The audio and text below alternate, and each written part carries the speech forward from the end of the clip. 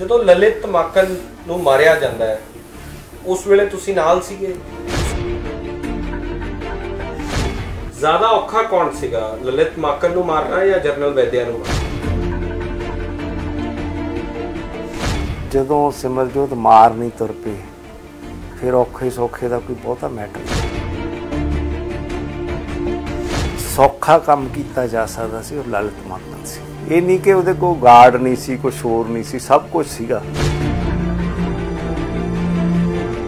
ਤੁਹਾਨੂੰ ਲੱਗਦਾ ਇੰਦਰਾ ਗਾਂਧੀ ਅਸੈਸੀਨੇਸ਼ਨ ਤੋਂ ਬਾਅਦ ਅਜੇ ਵੀ ਬਕਾਇਆ ਸੀਗਾ ਕਿ ਇਸ ਤਰ੍ਹਾਂ ਦੀਆਂ ਐਗਜ਼ਾਮਪਲਸ ਹੋਰ ਸੈੱਟ ਕੀਤੀਆਂ ਜਾਣ? ਤੁਹਾਡੀ ਸੰਤਾਂ ਨਾਲ ਮੁਲਾਕਾਤ ਹੋਈ? ਮੈਂ ਕਦੀ ਨਹੀਂ ਸਮਝਦਾ ਕਦੇ ਨਹੀਂ? ਨਾ। ਮੈਂ ਕਈ ਵਾਰ ਦਰਬਾਰ ਸਾਹਿਬ ਗਿਆ ਜਦੋਂ ਸੰਤ ਪੂਰੀ ਸੀਗੇ ਆਪਣੀ ਚੜ੍ਹ ਤੇ ਪਰ ਮੇਰਾ ਕਦੀ ਮਨ ਨਹੀਂ ਕੀਤਾ ਕਿ ਮੈਂ ਮਿਲ ਮੈਨੂੰ ਲਾਈਫ ਸੈਂਟੈਂਸ ਹੋਈ ਹੈ ਮੈਂ 18 ਸਾਲ ਜੇਲ੍ਹ ਕੱਟੀ ਆ ਐਂਡ ਵੈਰੀ ਹਾਰਡ ਕੰਡੀਸ਼ਨ ਚ ਜੇਲ੍ਹ ਕੱਟੀ ਆ। ਐਂਡ ਲੁਧਿਆਣੇ ਦਾ ਇੱਕ ਵੱਡਾ ਬੈਂਕ ਟਾਰਗੇਟ ਇਹ ਤਾਂ ਹੋਇਆ ਸਾਡਾ ਟੂ ਦਾ ਨਾਮ ਆਇਆ। ਇਹ ਨਾ ਬਾਅਦ ਚ। ਉਸ ਤੋਂ ਪਹਿਲਾਂ ਹੋਰ ਬਹੁਤ ਸਾਰੇ ਹਾਂ ਬਹੁਤ ਬੈਂਕ ਅਸੀਂ ਬਹੁਤ ਹੋਲਡ ਅਪ ਕੀਤੇ ਆ। ਇੱਕ ਸਵਾਲ ਇਹ ਆਇਆ ਕਿ ਲਲਿਤ ਮਾਕਨ ਨੂੰ ਮਾਰਨ ਪਿੱਛੇ ਤੁਹਾਡੇ ਕੋਲ ਜਸਟੀਫਿਕੇਸ਼ਨ ਸੀਗੀ ਪਰ ਪਤਨੀ ਨੂੰ ਕਿਉਂ ਟਾਰਗੇਟ ਕੀਤਾ? ਉਦੋਂ ਕਲੈਪਸ ਕਰ ਗਿਆ ਸੀ, ਉਹਦੀ ਵਾਈਫ ਉਹਦੇ ਉੱਤੇ ਪੈ ਗਈ। ਉਹਨੂੰ ਸਾਡੇ ਬੰਦਿਆਂ ਨੇ ਲਿਟਰਲੀ ਖਿੱਚਿਆ। ਪਰ ਉਹਦੀ ਇੰਨੀ ਪਕੜ ਸੀ ਕਿ ਉਹਨੇ ਛੱਡਿਆ ਨਹੀਂ। ਅਸੀਂ ਸਾਡਾ ਨੈਕਸਟ ਟਾਰਗੇਟ ਸੀ ਆਰਮੀ ਕਿ ਆਪਾਂ ਸੱਜਣ ਕੁਮਾਰ ਨੂੰ ਫਾਇਲ ਲਾ ਦਈਏ ਜਾਂ ਜਗਦੀਸ਼ ਟਾਈਟਲਰ ਲਾ ਦਈਏ। ਉਹ ਇੱਕ ਅੱਗੇ ਹਿਟਮੈਨ ਸੀ। ਜੋ ਪਲਾਨ ਹੋਈ ਆ, ਉਹ ਕਾਂਗਰਸ ਪਾਰਟੀ ਨੇ ਕੀਤੀ ਹੈ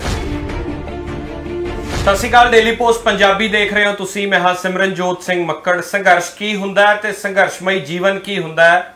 ਇਸ ਬਾਰੇ ਜੇ ਆਪਣੇ ਬੱਚਿਆਂ ਨੂੰ ਦੱਸਣਾ ਚਾਹੁੰਦੇ ਹੋ ਤਾਂ ਅੱਜ ਦੀ ਇਹ ਇੰਟਰਵਿਊ ਜ਼ਰੂਰ ਸੁਣਿਓ, ਅੱਗੇ ਵੀ ਦਿਖਾਇਓ।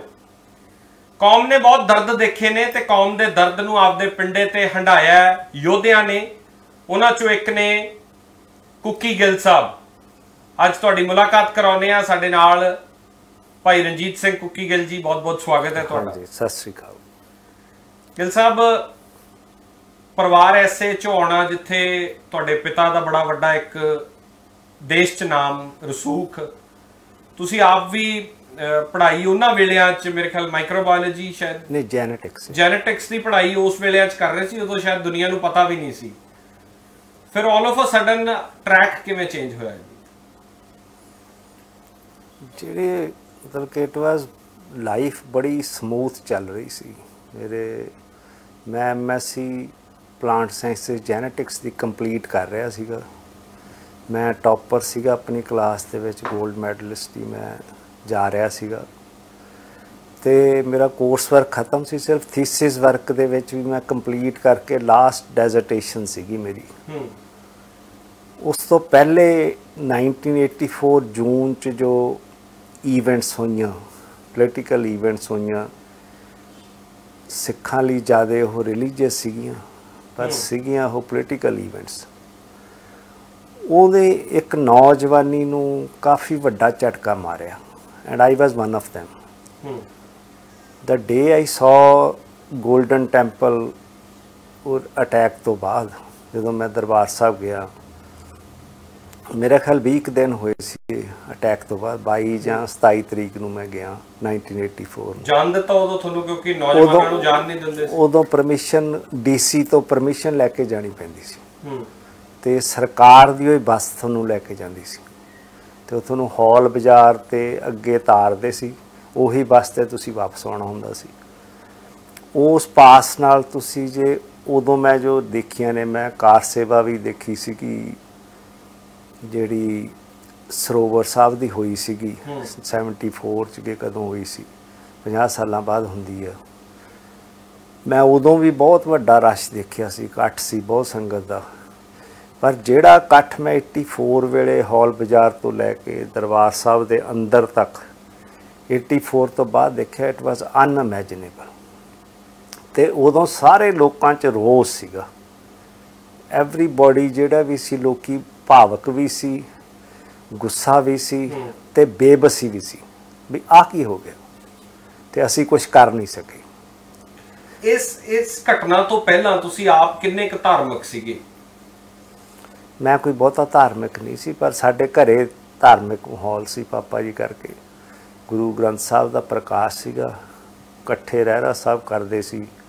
ਸਾਰਾ ਮਤਲਬ ਕਿ ਘਰੇ ਧਾਰਮਿਕ ਮਾਹੌਲ ਸੀਗਾ ਪਰ ਮੈਂ as such was not into religion ਮਤਲਬ ਰਿਲੀਜੀਅਸ ਨਹੀਂ ਸੀਗਾ ਮੈਂ। ਰਿਲੀਜੀਅਨ ਤਾਂ ਸੀਗਾ ਹੀ ਸਿੱਖ ਰਿਲੀਜੀਅਨ ਪਰ ਮੈਂ ਰਿਲੀਜੀਅਸ ਨਹੀਂ ਸੀ। ਇਸ ਘਟਨਾ ਨੇ ਤੁਹਾਨੂੰ ਧਾਰਮਿਕ ਤੌਰ ਤੇ ਬਦਲਿਆ ਜਾਂ ਕੁਝ ਹੋਰ ਚੇਂਜਸ ਸੀਗੀਆਂ? ਇਮੋਸ਼ਨਲੀ ਬਹੁਤ ਵੱਡੀ ਹਿੱਟ ਹੋਈ ਸੀ। ਇੱਕ ਤਰ੍ਹਾਂ ਨਾਲ ਤੁਹਾਡੀ ਇੰਟੈਲੀਜੈਂਸੀਆ ਨੂੰ ਹਿੱਟ ਹੋਈ ਸੀ ਵੀ ਆਹ ਕੀ ਹੋ ਗਿਆ ਤੇ ਆਪਾਂ ਕੁਝ ਕਰ ਨਹੀਂ ਸਕਦੇ। ਉਹ ਜਿੱਦਨ ਮੈਂ ਦਰਬਾਰ ਸਾਹਿਬ ਦੇਖ ਕੇ ਆਇਆ ਉਸ ਤੋਂ ਬਾਅਦ ਮੇਰੇ ਮਨ 'ਚ ਮੇਰੇ ਨਾਲ ਜਿਹੜੇ ਬੰਦੇ ਸੀ ਅਸੀਂ ਇਹ ਸੋਚਿਆ ਸੀ ਵੀ ਕੁਛ ਨਾ ਕੁਛ ਤਾਂ ਕਰਨਾ। ਹੂੰ। And whatever it takes ਉਹ ਇੱਕ ਟਰਨਿੰਗ ਮੂਵਮੈਂਟ ਸੀ ਇਨ ਮਾਈ ਲਾਈਫ ਫਿਰ ਸਾਡੇ ਅੱਗੇ ਇਹ ਸਵਾਲ ਸੀ ਕਿ ਡਿਗਰੀ ਕੰਪਲੀਟ ਕਰ ਲਈਏ। ਹੂੰ। ਬਈ ਇਨ ਦੀ ਮੀਨ ਟਾਈਮ ਆਪਣੇ ਆਪ ਨੂੰ ਪ੍ਰਪੇਅਰ ਕਰ ਲਈਏ ਐਡਾ ਵੱਡਾ ਸਟੈਪ ਚੱਕਣਾ। ਉਦੋਂ ਟਾਵਾਂ ਟਾਵਾਂ ਹੀ ਸੀਗਾ ਜਿਹੜਾ ਇਦਾਂ ਦਾ ਜਜ਼ਬਾ ਰੱਖਦਾ ਸੀ ਜਾਂ ਜਿੰਨਾ ਕੋਲੇ ਸੀਗਾ ਉਹ ਪ੍ਰਗਟ ਨਹੀਂ ਸੀ ਹੁੰਦਾ। ਉਸ ਤੋਂ ਬਾਅਦ ਮੈਂ ਘਰੇ ਆਇਆ। ਥੋੜੀ ਲਾਈਫ ਵਿੱਚ ਚੇਂਜਸ ਜ਼ਰੂਰ ਹੋਈਆਂ ਨੇ। ਆਪਣਾ ਰਿਲੀਜਨ ਵੱਲ ਨੂੰ ਖਿੱਚ ਹੋਈ ਹੈਗੀ ਆ। ਇਹ ਸੋਚਣ ਨੂੰ ਮਜਬੂਰ ਹੋਏ ਆ ਕਿ ਸ਼ਾਇਦ ਆਪਣਾ ਰਿਲੀਜਨ ਅੰਡਰ ਅਟੈਕ ਆ। ਰੈਦਰ ਦੈਨ ਕਿ ਇਹ ਸੋਚਣਾ ਕਿ ਸਿੱਖ ਕੌਮ ਅੰਡਰ ਅਟੈਕ ਆ। ਬਹੁਤਾ ਇਹ ਉਦੋਂ ਰਿਲੀਜਨ ਤੇ ਕੌਮ ਦਾ ਡਿਫਰੈਂਸ ਨਹੀਂ ਸੀ ਪਤਾ। ਵੈਸੇ ਤਾਂ ਹੈ ਨਹੀਂ ਪਰ ਰਿਲੀਜਨ ਤੇ ਕੌਮ 'ਚ ਡਿਫਰੈਂਸ ਜ਼ਰੂਰ ਹੈਗਾ। ਉਹ ਕੀ ਸਮਝਦੇ ਹੋ ਤੁਸੀਂ? ਉਹ ਕੀ ਡਿਫਰੈਂਸ ਹੈ? ਉਹ ਬੇਸਿਕਲੀ ਜਿਹੜਾ ਸਿੱਖ ਕੌਮ ਆ ਉਹ ਪੋਲੀਟੀਕਲ ਰਿਲੀਜੀਅਸ ਇੱਕ ਸਿੰਬਲ ਆ। ਹੂੰ। ਇੱਕ ਗੈਦਰਿੰਗ ਆ ਜਿਹਦੇ 'ਚ ਚੇਤਨਤਾ ਕਿ ਸਾਡਾ ਪੋਲੀਟੀਕਲ ਵੀ ਉਨਾ ਹੀ ਹੈਗਾ ਜਿੰਨਾ ਸਾਡਾ ਰਿਲੀਜੀਅਸ ਫਰਜ਼ ਨੇ। ਹੂੰ। ਉਹ with time we understood that ਉਦੋਂ ਤੱਕ ਬਹੁਤ ਕੁਝ ਹੋ ਚੁੱਕਿਆ ਸੀ। ਇੱਕ ਜਗ੍ਹਾ ਤੇ ਤੁਸੀਂ ਕਿਹਾ ਕਿਸੇ ਇੰਟਰਵਿਊ 'ਚ ਜਾਂ ਕਿਸੇ ਜਗ੍ਹਾ ਤੇ ਮੈਂ ਸੁਣਿਆ ਤੁਸੀਂ ਇਹ ਸੋਚਦੇ ਹੋ ਕਿ ਅਨੰਦਪੁਰ ਸਾਹਿਬ ਦਾ ਮਤਾ ਮਿਸਾਲ ਦੇ ਤੌਰ ਤੇ ਇਹ ਪੋਲੀਟੀਕਲ ਸੀ ਲੇਕਿਨ ਅਸੀਂ ਇਹਨੂੰ ਰਿਲੀਜੀਅਸ ਬਣਾਇਆ। ਹਾਂ ਬਿਲਕੁਲ। ਆਨੰਦਪੁਰ ਸਾਹਿਬ ਦੇ ਮਤੇ ਨਾਲੋਂ ਆਪਾਂ ਪੰਜਾਬ ਦਾ ਮਤਾ ਵੀ ਕਹਿ ਸਕਦੇ ਸੀ। ਉਹਦੇ ਨਾਲ ਇਹ ਆ ਵੀ ਇਹਨੂੰ ਸਿੱਖ ਹੋਰ ਟੋਨਸ ਮਿਲ ਗਈ ਵੀ ਇਹ ਸਿਰਫ ਸਿੱਖਾਂ ਦੀ ਆਵਾਜ਼ ਆ ਜਦ ਕਿ ਹੁਣ ਤਾਂ ਦੂਸਰੀਆਂ ਸਟੇਟਾਂ ਵੀ ਕਹਿ ਰਹੀਆਂ ਨੇ ਕਿ ਫੈਡਰਲਿਜ਼ਮ ਨੂੰ ਰੀਡਿਫਾਈਨ ਕਰੋ। ਹੂੰ।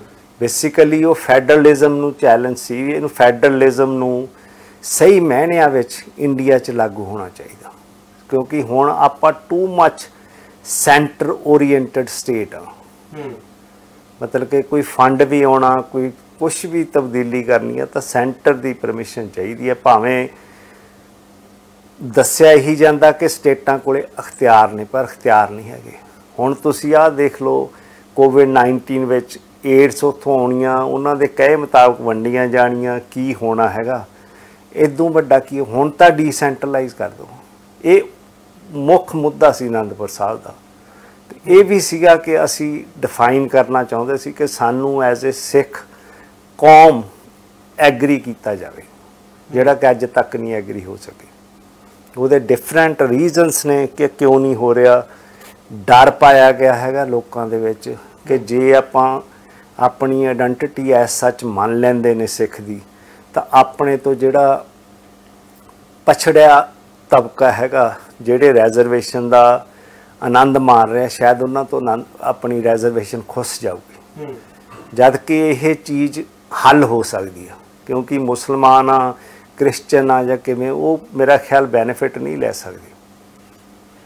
ਵਾਪਸ ਆਉਨੇ ਹੋ ਦਰਬਾਰ ਸਾਹਿਬ ਤੋਂ ਜਦੋਂ ਘਰੇ ਹਾਂਜੀ। 84 ਦੀ ਗੱਲ ਹੈ ਔਰ 85 ਚ ਲਲਿਤ ਮਾਕਨ ਦੀ ਅਸੈਸੀਨੇਸ਼ਨ ਹੋ ਜਾਂਦੀ ਹੈ। ਸਾਲ ਤੋਂ ਘੱਟ ਸਮੇਂ ਚ ਪਲਾਨ ਕਿਵੇਂ ਕਰਦੇ ਹੋ? ਪਲਾਨ ਮਤਲਬ ਕਿ ਜਿਸ ਤਰ੍ਹਾਂ ਲੋਕੀ ਸੋਚਦੇ ਪਤਾ ਨਹੀਂ ਹਿੱਟ ਲਿਸਟਾਂ ਸੀ ਕੀ ਸੀ ਅਸੀਂ ਉਹ ਪੜ੍ਹੀ ਆ book who are the guilty ਅਸੀਂ ਬੇਸਿਕਲੀ ਤਾਂ ਪੁਲਿਸ ਵੱਲੋਂ ਭਗੌੜੇ ਕਰਾਰ ਦਿੱਤਾ ਗਿਆ ਮੈਂ ਜੁਲਾਈ 9th 1985 ਨੂੰ। ਜੀ। ਜੁਲਾਈ 31 1985 ਨੂੰ ਲਲਿਤ ਮਾਕਨ ਮਾਰ ਦਿੱਤਾ ਗਿਆ ਸੀ। ਜੀ। ਜਿਹੜੀ who are the guilty book ਸੀ ਉਹਦੇ ਵਿੱਚ ਪੰਜ ਪ੍ਰੋਮੀਨੈਂਟ ਮੈਂਬਰ ਪਾਰਲੀਮੈਂਟ ਦੇ ਜਿਹੜੇ ਬੰਦੇ ਸੀ ਉਹ ਵਿਦ ਪ੍ਰੂਫ ਆਇਡੈਂਟੀਫਾਈ ਕੀਤੇ ਸੀ ਕਿ they have a role to play ਮੇਰੇ ਖਿਆਲ ਤੀਜੇ ਨੰਬਰ ਤੇ ਲਲਿਤ ਮਾਖਨ ਦਾ ਸ਼ਾਇਦ। ਹਾਂ ਉਹ ਨੰਬਰਿੰਗ ਡਸਨਟ ਮੈਟਰ ਹੂੰ। ਪਰ ਇਹ ਸੀਗਾ। ਜਿਹੜਾ ਸਾਡਾ ਆਪਸ ਚ ਅਸੀਂ ਪੰਜ ਸੱਤ ਜਣੇ ਸੀਗੇ ਅਸੀਂ ਇਹ ਆਪਸ ਚ ਧਾਰਿਆ ਕਿ what to do what next to do ਜਦੋਂ ਅਸੀਂ ਘਰੇ ਚੱਲੀ ਪਏ ਤਾਂ ਫਿਰ ਇਹ ਤਾਂ ਹੈ ਨਹੀਂ ਸੀ ਕਿ ਵਾਪਸ ਮੁੜਨਾ। ਇਹ ਤਾਂ ਕਦੀ ਮਨ ਚ ਨਹੀਂ ਇਹ ਤਾਂ ਕੁਦਰਤ ਮੈਨੂੰ ਵਾਪਸ ਲੈ ਆਈ। ਆਪਣੇ ਵੱਲੋਂ ਕੋਈ ਇਦਾਂ ਦਾ ਤੋਮਤ ਨਹੀਂ ਕਿ ਅਸੀਂ ਕਿਸੇ ਅੱਗੇ ਗਿੜਗੜਾਇਆ ਜਾਂ ਮੈਂ ਕੁਝ ਕੀਤਾ ਹੈਗਾ। ਉਸ ਚੀਜ਼ ਨੇ ਪਹਿਲੇ ਜਿਹੜਾ ਸਾਰ ਨਾਲੋਂ ਸੌਖਾ ਕੰਮ ਕੀਤਾ ਜਾ ਸਕਦਾ ਸੀ ਉਹ ਲਲਿਤ ਮਾਕਨ ਸੀ। ਇਹ ਨਹੀਂ ਕਿ ਉਹਦੇ ਕੋਲ ਗਾਰਡ ਨਹੀਂ ਸੀ ਕੁਝ ਹੋਰ ਨਹੀਂ ਸੀ ਸਭ ਕੁਝ ਸੀਗਾ। ਪਰ ਸਾਨੂੰ ਲੱਗਿਆ ਕਿ ਪਹਿਲੇ ਚਲੋ ਉਹ ਇੱਕ ਰਿਵੈਂਜ ਕਿਲਿੰਗ ਨਹੀਂ ਸੀ। It was basically a statement from the Sikhs ਕਿ ਸਾਨੂੰ ਦਬਾਇਆ ਨਹੀਂ ਜਾ ਸਕਦਾ। ਜੇ ਦਬਾਓਗੇ ਤਾਂ we will hit back that was a symbol of that ਉਹ ਇੱਕ ਇਮੋਸ਼ਨਲ ਵੀ ਹਿੱਟ ਸੀ ਉਹ ਇੱਕ ਸਿੰਬੋਲਿਕ ਹਿੱਟ ਸੀ। ਪਰ ਤੁਹਾਨੂੰ ਲੱਗਦਾ ਇੰਦਰਾ ਗਾਂਧੀ ਅਸੈਸੀਨੇਸ਼ਨ ਤੋਂ ਬਾਅਦ ਅਜੇ ਵੀ ਬਕਾਇਆ ਸੀਗਾ ਕਿ ਇਸ ਤਰ੍ਹਾਂ ਦੀਆਂ ਐਗਜ਼ਾਮਪਲਸ ਹੋਰ ਸੈੱਟ ਕੀਤੀਆਂ ਜਾਣ? ਇਹ ਜਿਹੜੀਆਂ 84 ਦੀਆਂ ਇਵੈਂਟਸ ਹੋਈਆਂ ਨਾ ਇੰਦਰਾ ਗਾਂਧੀ ਤੋਂ ਬਾਅਦ ਹੋਈਆਂ। ਇਹ ਉਹਦੀਆਂ ਰੀਪਰਕਸ਼ਨ ਸੀ। ਪਹਿਲੇ ਦਰਬਾਰ ਸਾਹਿਬ ਹੋਇਆ Indira Gandhi was killed because of that ਜਿਹੜੇ ਨੈਕਸਟ ਸਟੈਪ ਹੋਏ ਆ ਇਹ ਦੈਟ ਵਾਸ ਬਿਕੋਜ਼ ਕਿ ਇੰਨਾ ਲਾਚਾਰ ਬਣਾਤਾ ਸੀ ਸਿੱਖ ਕੌਮ ਨੂੰ, ਇੰਨੀ ਡੀਮੋਰਲਾਈਜ਼ ਸੀ ਅਸੀਂ ਲੋਕਾਂ 'ਚ ਫਿਰਦੇ ਸੀ ਕਿ ਕਿਸੇ ਕੋਲੇ ਕੋਈ ਉਹਨਾਂ ਨੂੰ ਸਮਝ ਨਹੀਂ ਸੀ ਆ ਰਿਹਾ ਵੀ ਕਰੀਏ ਕੀ। ਹੂੰ ਐਕਸਕਿਊਜ਼ ਮੀ ਉਹਦੇ ਕਰਕੇ ਇਹ ਹਿੱਟ ਕਰਨੀ ਜ਼ਰੂਰੀ ਸੀ, ਜੋ ਅਸੀਂ ਉਦੋਂ ਸਮਝਿਆ। ਦੂਜੀ ਗੱਲ ਆ, ਜਿਹੜੀ ਇੰਪੋਰਟੈਂਟ ਫੈਕਟਰ ਆ, ਕਿ ਨੌਜਵਾਨ ਤਬਕਾ ਦੂਰ ਦੀ ਨਹੀਂ ਸੋਚਦਾ। ਉਹ ਸ਼ਾਰਟ ਟਰਮ ਸੋਚਦਾ ਤੇ ਇਹ ਕਹਿੰਦਾ ਵੀ ਕਿਹੜਾ ਕਦਮ ਚੱਕਿਆ ਜਾਵੇ ਜਿਹਦੇ ਨਾਲ ਆਪਾਂ ਕੁਝ ਕਰ ਸਕੀਏ। ਪਰ ਉਹ ਚੀਜ਼ ਜੇ ਆਪਾਂ ਹੁਣ ਦੇਖੀਏ ਤਾਂ ਇੰਨੇ ਸਾਲ ਬੀਤ ਗਏ ਹਜੇ ਤੱਕ ਆਪਾਂ ਮੁੱਖ ਦੋਸ਼ੀਆਂ ਨੂੰ ਜਿਹੜੇ ਮੰਨੇ ਜਾਂਦੇ ਨੇ ਵਿਦ ਸੋ ਮੱਚ ਪ੍ਰੂਫ ਹਜੇ ਉਹਨਾਂ ਨੂੰ ਕਟਹਿਰੇ 'ਚ ਨਹੀਂ ਲਿਆ ਸੀ। ਹਾਂ ਇੱਕ ਸੱਜਣ ਕੁਮਾਰ ਅੰਦਰ ਕਰ ਲਿਆ। ਜੀ। ਪਰ ਕੀ ਉਹਨੂੰ ਫਾਂਸੀ ਹੋਈ ਹੈ ਨਹੀਂ? ਐਨੇ ਘਨਾਉਣੇ ਹੋਏ ਹੋਣ, ਜੇ ਕਾਰਨੇਜ ਹੋਇਆ 6 ਦਾ। ਕੋਰਸ ਮੰਨਦੀਆਂ ਨੇ। ਪੋਲੀਟੀਕਲ ਕਲਾਸ ਮੰਨਦੀ ਆ। ਭਾਵੇਂ ਉਹਨਾਂ ਨੂੰ ਕਾਂਗਰਸ ਨੇ ਬਚਾਇਆ। ਐਨੇ ਸਾਲ ਬਚਾ ਕੇ ਰੱਖਿਆ। ਜਿਵੇਂ ਗੁਜਰਾਤ ਵਿੱਚ ਕਾਰਨੇਜ ਹੋਇਆ। ਉਹਨਾਂ ਨੂੰ ਬੀਜੇਪੀ ਦੀ ਸਰਕਾਰ ਉਹਨਾਂ ਨੇ ਪੋਲੀਟੀਕਲ ਪੈਟਰਨਾਈਜ਼ ਦਿੱਤੀ। ਬੰਦੇ ਉੱਥੇ ਕੁਝ ਨਹੀਂ ਹੋਇਆ। ਕੋਈ ਨਾਮੀ ਬੰਦਾ ਜੇ ਕਡਾਨੀ ਹੁਣੀ ਮਿਨਿਸਟਰ ਗਏ ਤਾਂ ਉਹਨਾਂ ਨੂੰ ਛੱਡ ਦਿੱਤਾ ਗਿਆ ਹੁਣ। ਕਿਉਂਕਿ ਇਹਨਾਂ ਦੀ ਸਰਕਾਰ ਆ। ਪਰ ਜਿਸ ਇੰਟੈਂਸਿਟੀ ਦੇ ਨਾਲ ਇਹ ਚੀਜ਼ ਉਦੋਂ ਪਰੇਸ਼ਾਨ ਕਰਦੀ ਸੀ ਕੀ ਅੱਜ ਵੀ ਉਵੇਂ ਹੀ ਪਰੇਸ਼ਾਨ ਕਰਦੀ ਹੈ ਵੀ ਜਿਹੜੇ ਮੁੱਖ ਦੋਸ਼ੀ ਸੀ ਉਹਨਾਂ ਨੂੰ ਨਾ ਫਾਂਸੀ ਹੋਈ ਨਾ ਕੋਈ ਐਗਜ਼ੈਂਪਲਰੀ ਸਜ਼ਾ ਮਿਲੀ?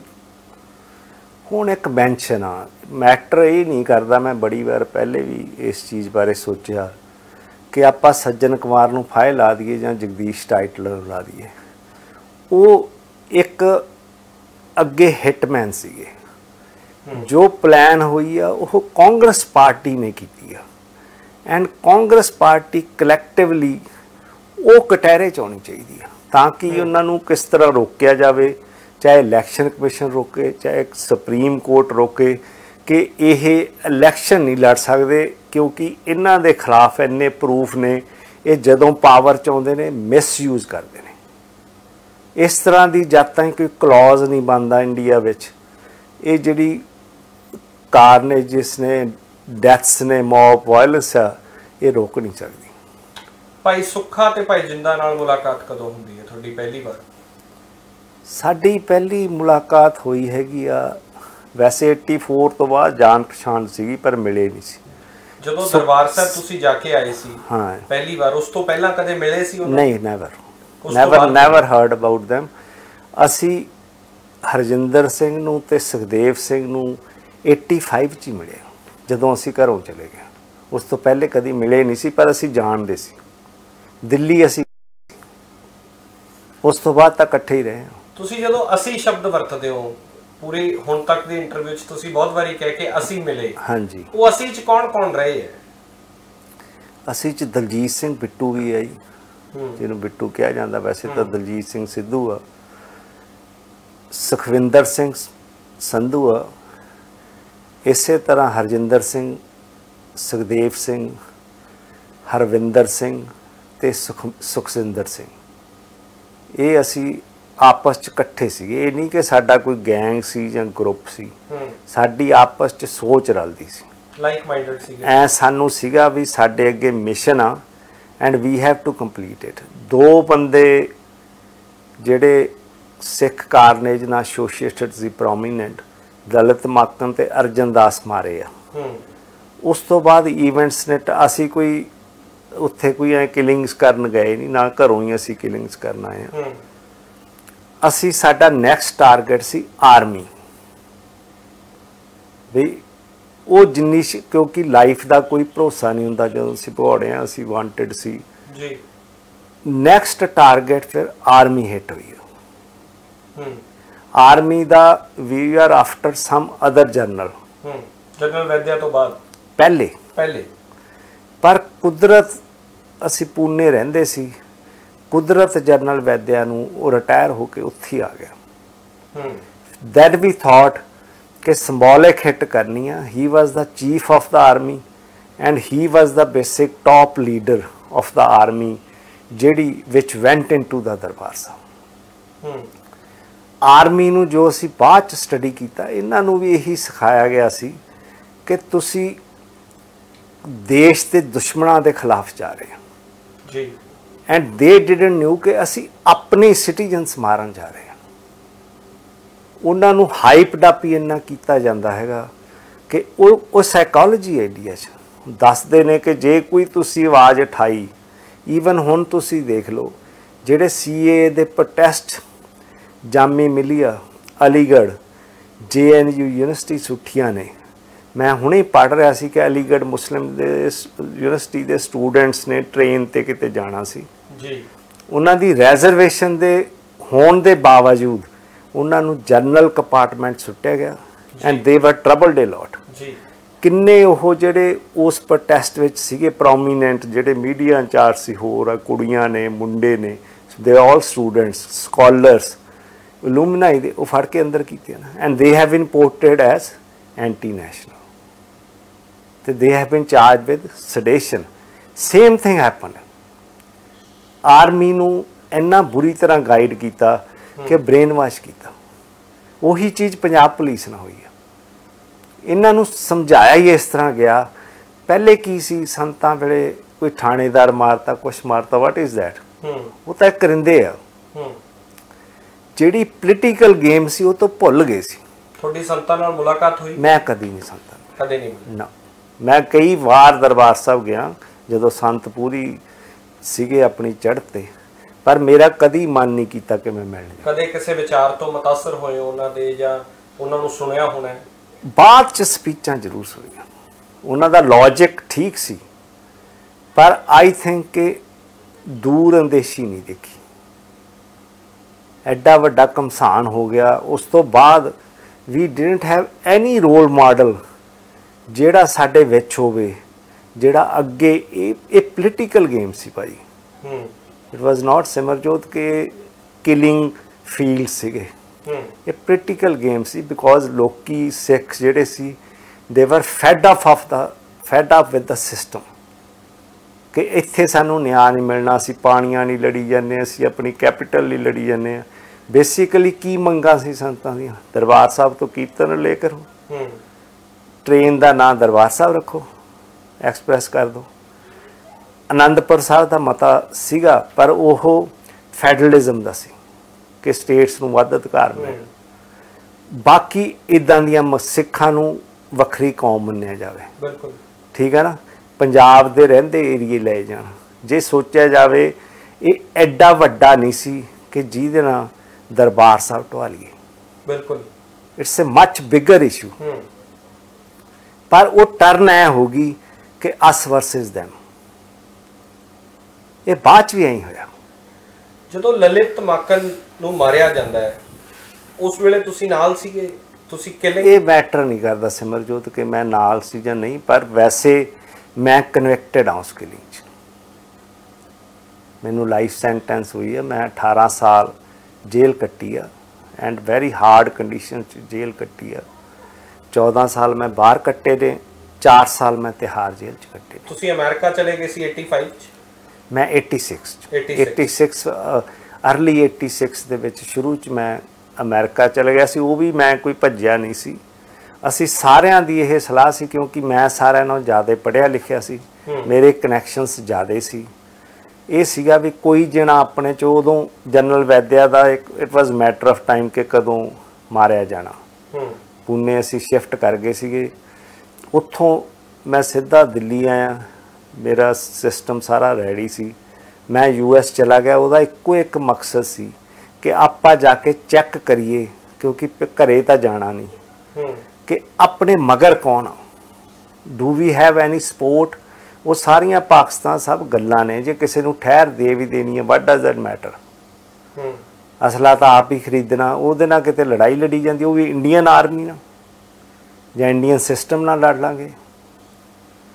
ਇਹ ਜਿਹੜੀ ਚੀਜ਼ ਹੈ ਸਾਨੂੰ ਇੰਨਾ ਨਹੀਂ ਸੀ ਨੌਲੇਜ ਪਰ ਇਹ ਸੀਗਾ ਕਿ ਆਪਾਂ ਜਾ ਕੇ ਪਤਾ ਕਰੀਏ ਕਿ ਜਿਹੜੇ ਸਿੱਖ ਬਾਹਰ ਇੰਨਾ ਚੌਹਾਨ ਹੁਣੀ ਜਾਂ ਔਲਖ ਹੁਣੀ ਜਾਂ ਹੋਰ ਗੰਗਾ ਸਿੰਘ ਢਿੱਲੋਂ ਹੁਣੀ ਰੌਲਾ ਪਾ ਰਿਹਾ ਵੀ ਸਾਡੀਆਂ ਸਰਕਾਰਾਂ ਨਾਲ ਗੱਲ ਆ that was the main purpose ਉਹਦੇ ਚ ਸੀਗਾ ਕਿ ਸਾਨੂੰ ਪੜ੍ਹਿਆ ਲਿਖਿਆ ਉਚਿਤ ਜਿਹੜਾ ਦੇਸ਼ ਆ ਉਹ ਅਮਰੀਕਾ ਹੂੰ ਅਮਰੀਕਾ ਪਰ ਜੋ ਮੈਂ ਉੱਥੇ ਜਾ ਕੇ ਮੈਂ ਡੇਢ ਸਾਲ ਬਾਹਰ ਰਿਹਾ ਜਾ ਕੇ ਸਟੱਡੀ ਕੀਤਾ there was nothing like that ਕੀ ਸੀਗਾ ਫਰਕ ਕੋਈ ਕੀ ਸੀ ਕੋਈ ਵੀ ਮੁਲਕ ਜਾਂ ਕੋਈ ਸਿੱਖ ਇੰਨੇ ਕੈਪੇਬਲ ਨਹੀਂ ਸੀ ਕਿ ਆਪਣੇ ਲੈਵਲ ਤੇ ਲੜਾਈ ਲੜ ਸਕਣ and no country even Pakistan ਜਾਂ ਕਿਵੇਂ ਕੋਈ ਰੈਡੀ ਨਹੀਂ ਸੀ ਟੂ ਸਪੋਰਟ ਅਸ ਪਰ ਕਿਹਾ ਤਾਂ ਬਹੁਤ ਗਿਆ ਕਿ ਪਾਕਿਸਤਾਨ ਨੇ ਇਹ ਸਭ। ਪ੍ਰੋਪਾਗੈਂਡਾ ਕੋਈ ਸਪੋਰਟ ਨਹੀਂ। ਸਪੋਰਟ ਕੀ ਹੈ? ਬੰਦੇ ਰਹਿਣੇ ਕੀ ਹੈ ਯਾਰ? ਉਹੀ ਰਹੀ ਜਾਓ ਇੱਥੇ।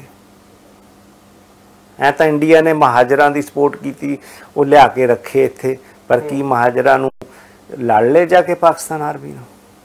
ਪਰ ਔਖਾ ਕਿੰਨਾ ਹੋਊਗਾ ਉਦੋਂ ਤੁਹਾਨੂੰ ਰਹਿਣ ਵਾਸਤੇ ਸਰਵਾਈਵਲ ਵਾਸਤੇ ਇਕਨੋਮਿਕਲ ਐਸਪੈਕਟ ਵੀ ਦੇਖਣੇ ਪੈਂਦੇ ਸੀ। ਇਕਨੋਮਿਕ ਅਸੀਂ ਜਦੋਂ ਘਰੋਂ ਗਏ ਇਕਨੋਮਿਕ ਸਾਡੇ ਕੋਲੇ ਕੋਈ ਏਡਾ ਨਹੀਂ ਸੀਗਾ ਸਿਸਟਮ ਪਰ ਉਸ ਤੋਂ ਬਾਅਦ ਅਸੀਂ ਬਹਿ ਕੇ ਸੋਚਿਆ ਕਿ ਆਪਾਂ ਕੋਈ ਫਰੌਤੀਆਂ ਤਾਂ ਕਰਨੀਆਂ ਨਹੀਂ। ਹੂੰ। ਨਾ ਅਸੀਂ ਕਦੀ ਕੀਤੀ ਆ। ਹੂੰ। ਅਸੀਂ ਬੈਂਕਸ ਨੂੰ ਟਾਰਗੇਟ ਕੀਤਾ। ਐਂਡ ਅਸੀਂ ਦਾ ਇੱਕ ਵੱਡਾ ਬੈਂਕ ਟਾਰਗੇਟ ਇਹ ਤਾਂ ਸਾਡਾ ਦਾ ਨਾਮ ਆਇਆ ਇਹ ਸਾਡਾ ਬਾਅਦ ਚ ਹੋਇਆ। ਉਸ ਤੋਂ ਪਹਿਲਾਂ ਹੋਰ ਬਹੁਤ ਸਾਰੇ ਹਾਂ ਬਹੁਤ ਬੈਂਕ ਅਸੀਂ ਬਹੁਤ ਹੋਲਡ ਅਪ ਕੀਤੇ ਆ। ਪਰ ਉਹ ਪੈਸਾ ਅਸੀਂ ਲੋਕਾਂ ਨੂੰ ਵੀ ਜਿਹੜੇ ਲੋੜਵੰਦ ਸੀ ਉਹਨਾਂ ਨੂੰ ਪਰਿਵਾਰਾਂ ਨੂੰ ਵੰਡਦੇ ਬਾਕੀ ਸਾਡਾ ਆਪ ਦੇ ਫਾਈਨੈਂਸਿਸ ਸੀ। ਅਸੀਂ we used to live in many cities ਇੱਕ ਸਵਾਲ ਇਹ ਆਇਆ ਕਿ ਲਲਿਤ ਮਾਕਨ ਨੂੰ ਮਾਰਨ ਪਿੱਛੇ ਤੁਹਾਡੇ ਕੋਲ ਜਸਟੀਫਿਕੇਸ਼ਨ ਸੀਗੀ ਪਰ ਪਤਨੀ ਨੂੰ ਕਿਉਂ ਟਾਰਗੇਟ ਕੀਤਾ ਗਿਆ? ਜਦੋਂ ਲਲਿਤ ਮਾਕਨ ਹਿੱਟ ਹੋਇਆ ਪਹਿਲੇ ਜਦੋਂ ਬਾਹਰ ਆਇਆ ਆਪਣੀ ਪਾਰਲੀਮੈਂਟ ਲਈ ਜਾਣ ਲਈ ਉਹਦੇ ਲਈ 2 ਘੰਟੇ ਬੰਦੇ ਉੱਥੇ ਖੜੇ ਰਹੇ ਆ। ਅੰਦਰ ਜਾ ਕੇ ਤਾਂ ਨਹੀਂ ਮਾਰਿਆ ਨਹੀਂ ਅੰਦਰ ਵੀ ਮਾਰ ਸਕਦੇ ਸੀ ਕਿ ਉਹਦੇ ਨਾਲ ਹੋਰ ਲੋਕ ਮਰਨਗੇ। ਹੂੰ। ਜਦੋਂ ਉਹ 2 ਘੰਟੇ ਬਾਅਦ ਬਾਹਰ ਨਿਕਲਿਆ ਧੁੱਪ 'ਚ ਖੜੇ ਰਹੇ ਬੰਦੇ ਗਰਮੀ 'ਚ ਉਹ ਆਇਆ ਉਦੋਂ ਉਹਦੇ ਕੋਲੇ ਜਾ ਕੇ ਗੋਲੀਆਂ ਮਾਰੀਆਂ। ਹੂੰ। ਉਹਦੇ ਗਾਰਡ ਗੂੜ ਸੀ ਉਹ ਭੱਜ ਗਈ ਉਹ ਵਾਪਸ ਤੱਤੇ ਕਾ ਇੱਕ ਵਾਰ ਡਿੱਗ ਕੇ ਉੱਠ ਕੇ ਘਰੇ ਚਲਾ ਗਿਆ। ਘਰ ਉਹਦਾ ਨਾਲ ਹੀ ਸੀਗਾ। ਸਾਹਮਣੇ ਹੀ ਘਰ ਸੀ ਘਰ ਗੋਲੀਆਂ ਦੇ ਵੱਜੀਆਂ ਚ। ਹਾਂ ਵੱਜੀਆਂ 'ਚ। ਉੱਥੇ ਜਾ ਕੇ ਉਹ ਕਲੈਪਸ ਕਰ ਗਿਆ ਅੰਦਰ। ਗੇਟ ਦੇ ਅੰਦਰ ਵੜ ਕੇ ਕਲੈਪਸ ਕਰ ਗਿਆ। ਜਦ ਨੂੰ ਅਸੀਂ ਅਸੀਂ ਕਿਹਾ ਵੀ ਹੁਣ ਜਾਂ ਜਿਹੜੇ ਵੀ ਬੰਦੇ ਸੀਗੇ ਉਹਨਾਂ ਨੇ ਕਿਹਾ ਵੀ ਹਥਿਆਰ ਚੇਂਜ ਕਰ ਲਓ। ਸਟੇਨ ਗਨ ਕੱਢੀ ਆ ਹੋਰ ਹਥਿਆਰ ਕੱਢੇ ਆ। ਉਹ ਜਦ ਨੂੰ ਅੰਦਰ ਗਏ ਆ ਉਦੋਂ ਕਲੈਪਸ ਕਰ ਗਿਆ ਸੀ ਉਹਦੀ ਵਾਈਫ ਉਹਦੇ ਉੱਤੇ ਪੈ ਗਈ। ਉਹਨੂੰ ਸਾਡੇ ਬੰਦਿਆਂ ਨੇ ਲਿਟਰਲੀ ਖਿੱਚਿਆ। ਪਰ ਉਹਦੀ ਇੰਨੀ ਪਕੜ ਸੀ ਕਿ ਉਹਨੇ ਛੱਡਿਆ ਨਹੀਂ। ਐਂਡ ਟਾਈਮ ਦੀ ਘਾਟ ਸੀ ਕਿਉਂਕਿ ਪੁਲਿਸ ਸਾਰਾ ਕਾਰਡਨ ਸੀਗਾ। ਫਿਰ ਉਹ ਸ਼ੂਟ ਹੋਈ ਪਰ ਹੋਰ ਕੋਈ ਬੰਦਾ ਇਸ ਤਰ੍ਹਾਂ ਹਿੱਟ ਨਹੀਂ ਹੋਇਆ। ਉਹਦੇ ਲਈ ਮੈਂ ਰਿਗਰੈਟ ਵੀ ਫੀਲ ਕੀਤੀ ਆ ਈਵਨ ਉਹਦੀ ਜਦੋਂ ਡਾਕਟਰ ਨੂੰ ਮਿਲਿਆ ਬੰਤਿਕਾ ਨੂੰ। ਸਾਡੀ ਗੱਲ ਸਟ੍ਰੇਟ ਗੱਲ ਹੋਈ ਹੈ ਜਿਵੇਂ ਆਪਾਂ ਗੱਲ ਕਰ ਰਹੇ ਹਾਂ ਐਂਡ ਮਿੰਟ ਸ਼ੀ ਵਾਸ ਕਨਵਿੰਸਡ ਉਹਨੇ ਆਪ ਕਿਹਾ ਵੀ ਮੈਂ ਕੋਈ ਅਪੋਲੋਜਾਈਜ਼ ਨਹੀਂ ਕਰ ਰਿਹਾ। ਮੈਂ ਪਹਿਲੇ ਕਹਿਤਾ ਸੀ ਮੈਂ ਕੋਈ ਅਪੋਲੋਜਾਈਜ਼ ਨਹੀਂ ਕਰਦਾ। ਚਾਹੇ ਉਹ ਲਲਿਤ ਮਾਕਨ ਦੀ ਪਤਨੀ ਦਾ ਉਹਦੇ ਲਈ ਮੈਂ ਅਪੋਲੋਜੀ ਨਹੀਂ। ਨਹੀਂ ਉਹਦੇ ਲਈ ਮੈਂ ਰਿਗਰੈਟ ਫੀਲ ਕੀਤੀ ਵੀ ਦੈਟ ਸ਼ੁਡਨਟ ਹੈਵ ਹੈਪਨਡ ਪਰ ਉਹਦੇ ਲਈ ਆਹ ਸਰਕਮਸਟੈਂਸਸ ਨਹੀਂ ਅਸੀਂ ਕਿਤੇ ਕੋਈ ਵੀ ਜਿਹੜੀ ਸਾਡੀ ਲਾਈਨ ਆਫ ਆ ਜਿਵੇਂ ਵੈਦਿਆ ਸੀਗਾ ਵੈਦਿਆ ਦੀ ਘਰ ਵਾਲੀ ਨੂੰ ਨਹੀਂ ਛੇੜਿਆ ਗਿਆ। ਉਹਦੇ ਨਾਲ ਸੀ ਉਹਦਾ ਗਾਰਡ ਸੀਗਾ ਉਹ ਨਹੀਂ ਛੇੜਿਆ ਗਿਆ। ਅਰਜਨ ਦਾਸ ਵੇਲੇ ਗਾਰਡ ਜ਼ਰੂਰ ਮਰਿਆ ਸੀਗਾ ਪਰ ਉਹ ਅੱਗੇ ਗੋਲੀਆਂ ਚਲਾ ਰਿਹਾ ਸੀ। ਮੇਰਾ ਇਹੀ ਸਵਾਲ ਹੈ ਅਕਸਰ ਆਮ ਕਿਲਿੰਗ ਜਦੋਂ ਹੁੰਦੀ ਹੈ ਜਦੋਂ ਕੋਈ ਸ਼ੂਟ ਕਰਨ ਆਉਂਦਾ ਹੈ ਤਾਂ ਸ਼ੂਟ ਕਰਦਾ ਔਰ ਤੁਰੰਤ ਫਰਾਰ ਹੋਣ ਦਾ ਸੋਚਦਾ। ਤੁਸੀਂ ਕਿਹਾ ਕਿ ਉੱਥੇ ਬਕਾਇਦਾ ਅਸਲਾ ਚੇਂਜ ਕੀਤਾ ਗਿਆ AK47 ਤੱਕ ਚੇਂਜ ਕੀਤੀ ਗਈ। ਇੰਨਾ ਇੱਕ ਇਸ ਇੱਕ 47 ਉਦੋਂ ਹੈ ਨਹੀਂ ਸੀ। 47 ਨਹੀਂ ਸੀਗੀ। ਜਿਹੜਾ ਵੀ ਹਥਿਆਰ ਬਦਲਿਆ ਗਿਆ ਜੋ ਤੁਸੀਂ ਬਦਲਿਆ ਗਿਆ ਕੀ ਮਾਨਸਿਕ ਤੌਰ ਦੇ ਉੱਤੇ ਇੰਨੇ ਜ਼ਿਆਦਾ ਸਟਰੋਂਗ ਸੀਗੇ ਕਿ ਇੰਨਾ ਟਾਈਮ ਮਿਲਿਆ ਔਰ ਉੱਥੇ ਵੇਟ ਕੀਤੀ ਗਈ? ਮਤਲਬ ਕਿ ਮੈਂ ਤੁਹਾਨੂੰ ਦੱਸਿਆ ਵੀ ਯੰਗ ਮਾਈਂਡ ਜਿਹੜਾ ਹੁੰਦਾ ਪ੍ਰੋਨ ਟੂ ਰਿਸਕਸ ਹੁੰਦਾ। ਉਹਦੇ ਚ ਜ਼ਿਆਦਾ ਹੱਲਾਸ਼ੇਰੀ ਹੁੰਦੀ ਕਿ ਜੇ ਕੋਈ ਟਾਸਕ ਆ ਤਾਂ ਪੂਰਾ ਕਰਨਾ। No matter what it takes ਇਹ ਥੋੜਾ ਸੋਚ ਕੇ ਅਸੀਂ ਮਾਰੇ ਨਹੀਂ ਜਾਣਾ। ਜਦੋਂ ਘਰੇ ਉਹ ਸੀ ਮੈਂ ਗਿਆ ਮੈਂ ਮੱਥਾ ਟੇਕ ਕੇ ਗਿਆ ਆਪਣੇ ਬੇਜੀ ਦਾ। ਐ ਬਕਾਇਦਾ ਕਿਹਾ ਵੀ ਮੈਂ ਹੁਣ ਚੱਲਿਆ ਪਰ ਇਹ ਨਹੀਂ ਸੀ ਉਹਨਾਂ ਨੂੰ ਪਤਾ ਵੀ ਕਿੱਥੇ ਚੱਲਿਆ। ਆਵਾਂ ਜਾਂ ਨਾ ਆਵਾਂ ਸ਼ਾਇਦ? ਕੁਛ ਨਹੀਂ ਇਦਾਂ ਦਾ ਕਿਹਾ। ਮੱਥਾ ਟੇਕ ਕੇ ਪਰ ਗਏ। ਇਹ ਸੀਗਾ ਕਿ ਹੁਣ ਨਹੀਂ ਆਉਂਦੇ। ਇਹ ਤਾਂ ਕੋਈ ਸੋਚ ਹੀ ਨਹੀਂ ਸੀ ਇਦਾਂ ਦੀ। ਜ਼ਿਆਦਾ ਔਖਾ ਕੌਣ ਸੀਗਾ? ਲਲਿਤ ਮਾਕਨ ਨੂੰ ਮਾਰਨਾ ਜਾਂ ਜਰਨਲ ਵੈਦਿਆ ਨੂੰ ਮਾਰਨਾ? ਜਦੋਂ ਸਿਮਰਜੋਤ ਮਾਰ ਨਹੀਂ ਤੁਰ ਪਏ ਫਿਰ ਔਖੇ ਸੌਖੇ ਦਾ ਕੋਈ ਬਹੁਤਾ ਮੈਟਰ ਨਹੀਂ। ਕਿਉਂਕਿ ਤੁਸੀਂ ਸ਼ੁਰੂ ਚ ਕਿਹਾ ਕਿ ਸੌਫਟ ਸੀਗਾ ਲਲਿਤ ਮਾਕਨ ਨੇ ਇਸ ਕਰਕੇ ਚੂਜ਼ ਸੌਫਟ ਜਿਹੜਾ ਹੁੰਦਾ ਕਿ ਸਾਡੀ ਇਹ ਜ਼ਰੂਰ ਪਹਿਲੇ ਤੋਂ ਧਾਰਨਾ ਸੀ ਵੀ ਆਪ ਨਹੀਂ ਮਾਰੇ ਜਾਣਾ ਕਿ we have lot of work to do ਜੀ। ਅਸੀਂ ਜਦੋਂ ਇਹ ਕੰਮ ਹੋ ਗਿਆ ਵੈਦਿਆ ਵਾਲਾ ਉਦੋਂ ਬਾਅਦ ਇਹੀ ਸੀਗਾ ਕਿ let's think something about Punjab. ਕਿ ਇੱਥੇ ਆਪਾਂ ਪੋਲੀਟੀਕਲ ਜਾਂ ਕੋਈ ਫਰੰਟ ਜਾਂ ਕੁਝ ਵੀ ਆਪਾਂ ਕਰਨਾ ਉਹ ਆਪਾਂ ਕਿਵੇਂ ਜਾਗਰਤਾ ਪੈਦਾ ਕਰ ਸਕਦੇ। ਉਹਦੇ ਚ ਕੁਝ ਵੀ ਨਹੀਂ ਸੀ ਇਵਨ ਸੰਤ ਹਰਚੰਦ ਸਿੰਘ ਲਾਂਗੋਵਾਲਾ। ਉਹਦੀ ਵੀ ਮੂਵਮੈਂਟਰਲੀ ਕਿਲਿੰਗ ਹੋਈ ਹੈ ਜਸਟ ਪਾਰ ਆਫ ਅ ਮੂਵਮੈਂਟ ਉਹ ਤਾਂ ਬੰਦੇ ਸਿਰਫ ਉਹਦਾ ਦੇਖਣ ਗਏ ਸੀ ਵੀ ਕਿੰਨਾ ਸੇਫ ਹੈ ਇਹਨੂੰ ਹਿੱਟ ਕਰਨਾ। ਉਹ ਤੋਂ ਜੋਸ਼ ਖਾ ਗਏ ਉਹਨਾਂ ਨੇ ਗੋਲੀਆਂ ਚਲਾ ਗੋਲੀ ਵੀ ਉਹਦੇ ਢਿੱਡ ਢੁੱਡ 'ਚ ਵੱਜੀ ਸੀ। ਉਹ ਹੌਂਕੇ ਨਾਲ ਹੀ ਮਰ ਗਿਆ।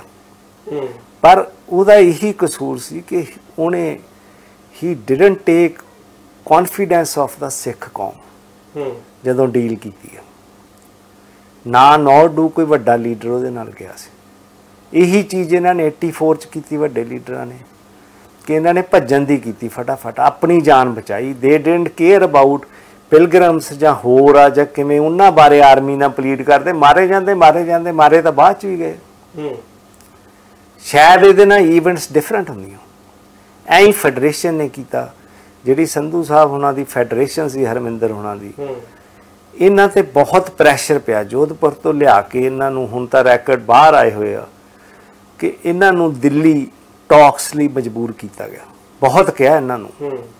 ਪਰ ਇਹ ਇਹ ਕੀ ਰੀਜ਼ਨ ਸੀ ਮੇਰੀ? ਮਨਜੀਤ ਸਿੰਘ ਨਾਲ ਵੀ ਗੱਲ ਹੋਈ ਉਹਦੇ ਕੋਲ ਕੋਈ ਆਨਸਰ ਨਹੀਂ ਸੀਗਾ। ਇਹਨਾਂ ਕੋਲੇ ਇੰਨਾ ਹੌਸਲਾ ਹੀ ਨਹੀਂ ਪਿਆ ਕਿ ਅਸੀਂ ਕੁਝ ਕਰ ਲਈਏ। ਨਹੀਂ ਇਹ ਆ ਕੇ ਪਹਿਲੇ ਕਹਿੰਦੇ ਵੀ ਅਸੀਂ ਪੰਜਾਬ ਚਾਹਾਂਗੇ ਇਲੈਕਸ਼ਨ ਕਰਾ ਲਓ ਜਾਂ ਕੁਝ ਕਰਾ ਲਓ। ਉਸ ਤੋਂ ਬਾਅਦ ਗੱਲਬਾਤ ਕਰਾਂ ਕਿੱਡੀ ਕੀ ਗੱਲ ਸੀ। ਉਦੋਂ ਬਾਅਦ ਜੇ ਆ ਕੰਮ ਹੋ ਜਾਂਦੇ ਸਿਮਰਜੋਤ ਤਾਂ ਆਈ ਡੋਂਟ ਥਿੰਕ ਕਿ even should have taken the route they took ਹੁਣ ਕੀ ਹੋਇਆ? ਮਰ ਮਰ ਆ ਕੇ ਘਰੇ ਬਹਿ ਗਏ। ਪੱਲੇ ਕੀ ਪਿਆ? ਕੁਝ ਵੀ ਨਹੀਂ। ਤੁਹਾਨੂੰ ਲੱਗਦਾ ਹੈ ਅਸੈਸੀਨੇਸ਼ਨਸ ਤੋਂ ਬਾਅਦ ਜਿਹੜਾ ਇੱਕ ਮੋਟਿਵ ਸੀਗਾ ਤੁਸੀਂ ਕਹਿ ਰਹੇ ਹੋ ਕਿ ਪੂਰੇ ਪੰਜਾਬ ਬਾਰੇ ਸੋਚਿਆ ਸੀ ਤੁਸੀਂ। ਹਾਂ। ਉਹ ਫੁੱਲਫਿਲ ਹੋਇਆ? ਨਹੀਂ ਸਾਨੂੰ ਲੱਗਦਾ ਸੀ ਵੀ ਅਸੀਂ ਹਿੱਟ ਬੈਕ ਕਰ ਗਏ। ਜੇ ਆਪਾਂ ਅੱਜ ਵੀ ਸੋਚੀਏ ਤਾਂ ਬੰਦੇ ਤੁਹਾਡੇ ਹੱਥ ਨਾ ਆਪਾਂ। Even I submitted a proposal to Sukhbir Singh Badal ਕਿ ਕਲੈਕਟਿਵਲੀ ਕਾਂਗਰਸ ਪਾਰਟੀ ਤੇ ਜਾਓ। ਪਰ ਇਹਨਾਂ ਨੇ ਨਹੀਂ ਗੱਲ ਮੰਨੀ। ਮੈਂ ਮੈਂ ਤਾਂ ਆਰਟੀਕਲਸ ਵੀ ਲਿਖੇ ਇਵਨ ਮੇਰਾ ਓਪਨ ਮੈਗਜ਼ੀਨ ਚ ਫੁੱਲ ਦੋ ਪੇਜ ਦਾ ਆਰਟੀਕਲ ਲੱਗਿਆ ਸੀ ਬਿਕੋਜ਼ ਆਈ ਰਾਈਟ ਕਾਲਮਸ ਤੇ ਮੈਂ ਉਹਨਾਂ ਨੂੰ ਵੀ ਲਿਖ ਕੇ ਦਿੱਤਾ ਸੀਗਾ ਤੇ they published it and it was very well received America ਦੀ ਜੇਲ੍ਹ 'ਚ ਤੁਸੀਂ ਕਿਹਾ ਜਾਂਦਾ ਹੈ ਉਹ ਤਸੀਹੇ ਦੇਖੇ ਹੈ ਜੋ ਬਹੁਤ ਇਨਹਿਊਮਨ ਨੇ ਜੋ ਇੱਕ ਆਮ ਬੰਦੇ ਤੇ ਬਹੁਤ ਔਖਾ ਹੈ ਉਹਦੇ ਵਾਸਤੇ। ਕਈ ਸਾਲਾਂ ਤੱਕ ਤੁਸੀਂ ਕਹਿੰਦੇ ਕਿ ਲਾਈਟ ਤੱਕ ਨਹੀਂ ਦੇਖੀ ਸੀ ਇਹ ਸੱਚ ਹੈ? ਇਨ ਹਿਊਮਨ ਨਹੀਂ ਤੁਸੀਂ ਕਹਿ ਸਕਦੇ ਨਾ ਕੋਈ ਇਦਾਂ ਦਾ ਕੁੱਟ ਮਾਰਦਾ ਤਸ਼ੱਦਦ ਹੁੰਦਾ। ਪਰ ਜਿਹੜਾ ਇੰਟਰਨਲ এনवायरमेंट ਹੁੰਦਾ ਇਨਮੇਟ ਟੂ ਇਨਮੇਟ ਕੈਦੀ ਤੋਂ ਕੈਦੀ ਜਿਹੜੇ ਇਨਮੇਟਸ ਕਹਿੰਦੇ ਆ ਉਹ ਕਾਫੀ ਭੈ ਭੀਤ ਹੁੰਦਾ ਕਿਉਂਕਿ ਕਹਿੰਦੇ ਹੁੰਦੇ ਨਾ ਕਿ ਰੱਬ ਨੇੜੇ ਕਿ ਕਸੁਨ ਤੁਹਾਡੀ ਇੱਕ ਮਾੜਾ ਜਿਹਾ ਸਟੈਪ ਜਾਂ ਗਲਤੀ that can take your life away ਕਿਉਂਕਿ ਉੱਥੇ ਬੜੇ ਡਰੈਡਡ ਕ੍ਰਿਮੀਨਲਸ ਨੇ। ਬਾਕੀ ਸਾਰਾ ਕੁਝ ਰੈਗੂਲੇਟਡ ਆ। ਪਰ ਵੈਰੀ ਸਟ੍ਰਿਕਟ ਸਾਨੂੰ ਕਿਉਂਕਿ ਵੀ ਵਰ ਹਾਈ ਸਿਕਿਉਰਿਟੀ ਆਈ ਵਾਸ ਸਨ ਮੈਨੂੰ ਹਾਈ ਸਿਕਿਉਰਿਟੀ ਕਰਕੇ ਆਈਸੋਲੇਸ਼ਨ ਟਾਈਪ ਫੈਸਿਲਿਟੀ ਚ ਰੱਖਿਆ ਗਿਆ ਸੀ। ਇਹ ਜੇਲ੍ਹ ਵਿਦਨ ਅ ਜੇਲ੍ਹ ਹੂੰ। ਮੈਨੂੰ ਅੱਜ ਵੀ ਯਾਦ ਆ 9th ਫਲੋਰ ਸੀ ਐਮਸੀਸੀ ਦਾ ਹੈਨਾ? ਉਹ 13 13 ਫਲੋਰ ਦੀ ਬਿਲਡਿੰਗ ਸੀਗੀ ਸਾਰੀ ਬੰਦ ਨਥਿੰਗ ਲਾਈਕ that ਇੱਕ ਬਿਲਡਿੰਗ ਸੀ ਹਾਈ ਰਾਈਜ਼ ਪਰ ਸਾਰੇ ਪਾਸਿਓਂ ਕਲੋਜ਼ਡ ਆ numerous doors used to open before you enter that facility ਹੂੰ ਉਹ ਠਾ ਠਾ ਤੁਹਾਡੇ ਮਗਰ ਵੱਜਦੇ ਸੀ 올 ਦਾ ਟਾਈਮ देयर ਵਾਸ ਕੀਸ ਦੀ ਛਣਛਣਾਟ ਤੁਹਾਡੇ ਵੱਜਦੀ ਕਿਉਂਕਿ ਵੱਡੀਆਂ ਵੱਡੀਆਂ ਕੀਸ ਆ ਉਹ ਗਾਰਡਸ ਤੇ ਪਾਈਆਂ ਹੁੰਦੀਆਂ ਨੇ 올 ਦੀ ਟਾਈਮ ਗਾਰਡ ਫਿਰਦੇ ਰਹਿੰਦੇ ਆ ਉਸ ਦੇ ਵਿੱਚ ਮੈਂ ਪਹਿਲੇ 4 ਸਾਲ ਰਿਹਾ 10 ਸਾਲ ਹੋਰ ਰਿਹਾ। ਪਹਿਲੇ ਸਿਰਫ ਥੋੜੇ ਸਾਲ ਹੋਰ ਉੱਥੇ। ਟੋਟਲ ਮੈਂ 10 ਸਾਲ ਉਸ ਫੈਸਿਲਿਟੀ 'ਚ ਰਿਹਾ। ਇੱਕ ਕੰਟੀਨਿਊਸ ਸੀ? ਕੰਟੀ ਕੰਟੀਨਿਊਸ ਕੋਈ ਪਰੋਲ ਜਾਂ ਕੋਈ ਬਾਹਰ ਨਾ ਨਾ ਆਉਂਦਾ ਜਾਂ ਪਰਿਵਾਰ ਨੂੰ ਨਥਿੰਗ ਲਾਈਕ that ਮੁਲਾਕਾਤ ਸੀਗੀ ਪਰ ਪਰਿਵਾਰ ਨੇ ਕਿੱਥੇ ਜਾਣਾ ਹੈਗਾ। ਆਏ ਆ ਮੈਨੂੰ ਇੱਕ ਦੋ ਵਾਰੀ ਪਾਪਾ ਜੀ ਹੁਣੀ ਮਿਲ ਇਦਾਂ ਦੀ ਗੱਲ ਨਹੀਂ ਹੈ। ਪਰ ਬੜੀਆਂ ਕੰਟਰੋਲ ਕੰਡੀਸ਼ਨਸ ਹੁੰਦਾ ਸੀ ਉਹ ਉੱਥੇ ਲਾਈਟ ਜਿਹੜੀ ਆ ਬਿਲਕੁਲ ਮੱਧਮ ਸੀ। ਹੂੰ। No opportunity to see the sky ਚਿੜੀਆਂ ਚੁੜੀਆਂ ਤਾਂ ਤਾਂ ਛੱਡ ਹੀ ਦਿਓ ਨਾ। ਨੋ ਗ੍ਰਾਸ ਨੋ ਦਰਖਤ ਕੁਝ ਦਿਖਣਾ ਨਹੀਂ ਤੁਹਾਨੂੰ। ਇੱਕ ਛੋਟੀਆਂ ਛੋਟੀਆਂ ਝਾਤੀਆਂ ਨੇ ਜਿਹਦੇ ਵਿੱਚ ਦੀ ਮਾੜਾ ਮੋਟਾ ਤੁਸੀਂ ਫੀਲ ਲੈ ਸਕਦੇ ਹੋ। ਪਰ ਐ ਨਹੀਂ ਕਿ ਤੁਸੀਂ ਸਕਿਨ ਤੁਹਾਡੀ ਪੀਲੀ ਪੈਣ ਲੱਗੀ ਕਿਉਂਕਿ ਜਿਹੜੀ ਉਹ ਫੈਸਿਲਿਟੀ ਸੀ ਉਹ ਸਿਰਫ 90 ਡੇਜ਼ ਡਿਟੈਂਸ਼ਨ ਸੈਂਟਰ ਸੀ ਕਿ ਉਹਦਾ ਆਈਦਰ 90 ਡੇਜ਼ ਤੁਹਾਡਾ ਟ੍ਰਾਇਲ ਕੰਪਲੀਟ ਹੋ ਕੇ ਤੁਹਾਨੂੰ ਜੇਲ੍ਹਾਂ 'ਚ ਭੇਜ ਦੋਗੇ ਜਾਂ ਘਰੇ ਚਲ ਜਾਓਗੇ। And that very facility I spent 10 years ਉਸ ਤੋਂ ਬਾਅਦ ਫਿਰ ਹਮੈਨਿਟੇਰੀਅਨ ਬੇਸ ਤੇ ਮੈਨੂੰ ਉਹਨਾਂ ਨੇ ਅਪ ਸਟੇਟ ਭੇਜਿਆ ਅਪ ਸਟੇਟ ਹੈਗਾ ਕਿ ਮਾਊਂਟੇਨਸ ਏਰੀਆ ਸੀਗਾ 5000 ਫੀਟ ਦੇ। ਉੱਥੇ ਸਾਰੇ ਦਰਖਤ ਹੀ ਦਰਖਤ। ਉਹ ਪਹਿਲੀ ਵਾਰੀ ਮੈਂ ਉੱਥੇ ਗ੍ਰੀਨਰੀ ਦੇਖੀ ਸੀ। ਮੈਂ ਜਦੋਂ ਬਾਹਰ ਨਿਕਲਿਆਗਾ ਆਪਣੀ ਕਸਟਡੀ ਚੋਂ। ਤੇ ਮੈਂ ਪਹਿਲੇ ਗ੍ਰਾਸ ਨੂੰ ਹੀ ਹੱਥ ਲਾਇਆ ਸੀ। ਤੇ ਸਕਾਈ ਦੇਖਿਆ ਆਸਮਾਨ ਦੇਖ ਕੇ ਤੁਸੀਂ ਹੈਰਾਨ ਰਹਿ ਜਾਂਦੇ ਹੋ। ਉਹ ਬੜੀ ਖੁੱਲੀ ਫੈਸਿਲਿਟੀ ਸੀ ਜਿਵੇਂ ਪੀਏਯੂ ਆ। ਕਿੰਨੇ ਸਾਲ ਬਾਅਦ ਦੇਖਿਆ ਸੀ? 10 ਸਾਲ ਬਾਅਦ। 87 ਚ ਮੈਂ ਫੜਿਆ ਗਿਆ ਸੀ। 97 ਦੇ ਐਂਡ ਚ ਮੈਂ ਗਿਆ। ਫਿਰ 2000 ਚ I came back to India ਮੈਂ ਜਦੋਂ ਕੇਸ ਜਿੱਤਣ ਦੇ ਬਾਵਜੂਦ ਨਾਟ ਵਾਂਸ 3 ਟਾਈਮਸ ਐਕਸਟ੍ਰੈਡੀਸ਼ਨ ਮੇਰੀ ਡਿਨਾਈ ਹੁੰਦੀ ਰਹੀ ਆ। ਉਸ ਤੋਂ ਬਾਅਦ ਆਈ ਡਿਸਾਈਡਡ ਕਿ there is no fun here ਨਾ ਮੈਂ ਅਸਾਈਲਮ ਲੈਣਾ ਚਾਹੁੰਦਾ ਸੀ ਨਾ ਮੈਂ ਰਿਫਿਊਜੀ ਕਲੇਮ ਪਹਿਲੇ ਵੀ ਜਦੋਂ ਮੈਂ ਬਾਹਰ ਗਿਆ ਹੂੰ ਇਹ ਸੋਚ ਕੇ ਗਏ ਸੀ ਵੀ ਵਾ- ਆਖਰ ਵਾਪਸ ਹੀ ਜਾਣਾ ਆਪਣਾ ਕੰਮ ਕਰਕੇ ਜਦੋਂ ਮੈਂ ਫੜਿਆ ਵੀ ਗਿਆ ਹੂੰ ਉਹ ਇਨ ਪ੍ਰੋਸੈਸ ਸੀ ਕਿ ਆਈ ਵਾਸ ਕਮਿੰਗ ਬੈਕ ਇਸ ਦੌਰ 'ਚ ਇੰਡੀਆ ਐਕਸਟ੍ਰੈਡੀਸ਼ਨ ਮੰਗ ਰਿਹਾ ਸੀ ਤੁਹਾਡੀ ਅਮਰੀਕਾ ਨੂੰ ਬਿਲਕੁਲ ਕਹਿ ਰਿਹਾ ਸੀ ਕਿ ਬਹੁਤ ਵਾਪਸ ਦਿਓ ਬਹੁਤ ਸਟਰੋਂਗਲੀ ਅਮਰੀਕਾ ਨੇ deny ਫੁੱਲ ਕੀਤਾ। Full power ਪ੍ਰੂਫ ਨਹੀਂ ਸੀਗਾ ਪਹਿਲੇ ਇਹਨਾਂ ਨੇ ਫਿਰ ਰੱਖਿਆ ਕਿਉਂ ਉਹਨਾਂ ਨੇ ਇੰਨੇ ਸਾਲ case extraditions they have the power to refile it as many times ਹੂੰ ਪਰ ਉਹ ਹੁਣ ਹਰ ਇੱਕ ਐਸਪੈਕਟ ਇਹਨਾਂ ਦਾ ਡਿਨਾਈ ਹੋ ਰਿਹਾ ਸੀ ਨਾਓ ਦੇ ਡਿਡਨਟ ਹੈਵ ਮੱਚ ਮਤਲਬ ਕਿ evidence to support their request ਪਰ ਇਹ ਸੀਗਾ ਕਿ ਜੇ ਮੈਂ ਇੱਥੇ ਆ ਕੇ ਮੈਂ ਵਾਪਸ ਆ ਗਿਆ ਮੈਨੂੰ ਫਰਸਟ ਸੈਕਟਰੀ ਜਿਹੜਾ ਟੂ ਐਮਬੈਸਡਰ ਹੁੰਦਾ ਹੈਗਾ ਅਰੁਣ ਚੌਧਰੀ ਹੀ ਜਦੋਂ ਮੇਰੀ custody from FBI to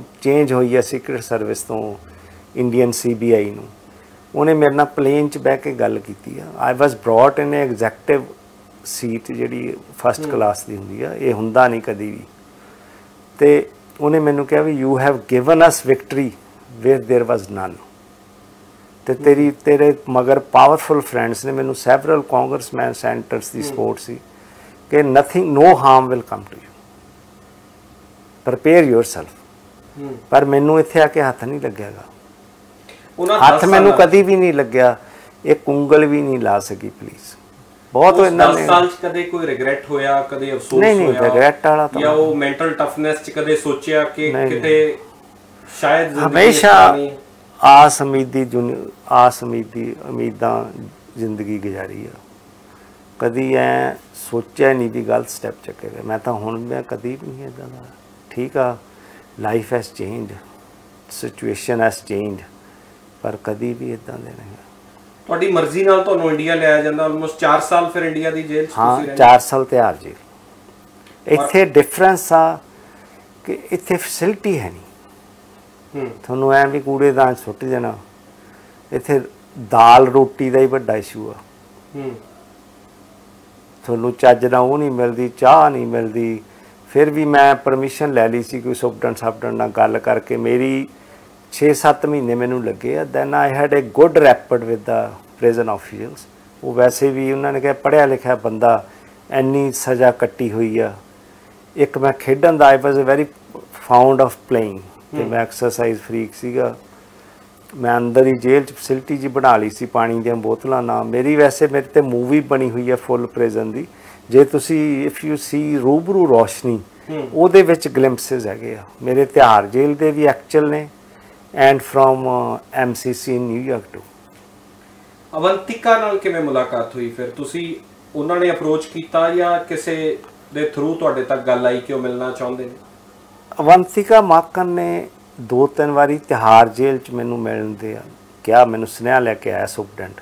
ਹੂੰ। ਤੇ ਇਨ ਦ ਮੀਨ ਟਾਈਮ ਉਹਨੇ ਮੈਨੂੰ ਇਹ ਵੀ ਦੱਸਿਆ ਵੀ ਉਹ ਗੁੱਸੇ ਵਾਲੀ ਆ। ਮੈਂ ਕਿਹਾ ਡਸਨਟ ਮੈਟਰ ਮੈਨੂੰ ਤਾਂ ਕੋਈ ਸ਼ਾਈ ਨਹੀਂ ਹੈਗਾ। ਕਹਿੰਦਾ ਵੀ ਉਹ ਬੋਲ ਸਕਦੀ। ਮੈਂ ਕਿਹਾ ਵੀ ਜੇ ਮੇਰੀ ਡਿਸਰਿਸਪੈਕਟ ਕਰੂਗੀ ਤਾਂ ਫਿਰ ਮੇਰੇ ਕੋਲੋਂ ਵੀ ਡਿਸਰਿਸਪੈਕਟ ਹੋਊਗੀ। ਕਿਉਂਕਿ ਮੈਨੂੰ ਕੀ ਡਰ ਆ? ਉੱਥੇ ਮੁਲਾਕਾਤ ਨਹੀਂ ਹੋਈ। ਉਹ ਬਾਈ ਚਾਂਸ ਮੈਂ ਜਦੋਂ ਬਾਹਰ ਸੀ 84 ਚ ਉਦੋਂ ਨੈਸ਼ਨਲ ਇਲੈਕਸ਼ਨਸ ਹੋ ਰਹੀਆਂ ਸੀ। ਡਿਕਲੇਅਰ ਹੋਈਆਂ ਸੀ ਮਈ 2004 ਚ। ਜੀ। ਇੱਥੇ ਮਨੀਸ਼ ਤਿਵਾੜੀ ਖੜਾ ਸੀਗਾ ਇਲੈਕਸ਼ਨ ਲਈ ਐਮਪੀ ਕਾਂਗਰਸ ਲਈ। ਉਹਦੀ ਕੈਂਪੇਨ ਲਈ ਕਿਉਂਕਿ he she was general secretary of national student union of India ਜਿਹੜੀ ਕਾਂਗਰਸ ਦੀ ਯੂਨਿਟ ਆ। ਉਸ ਚਾਈ ਇਹਨੇ ਪ੍ਰੈਸ ਕਾਨਫਰੰਸ ਕੀਤੀ।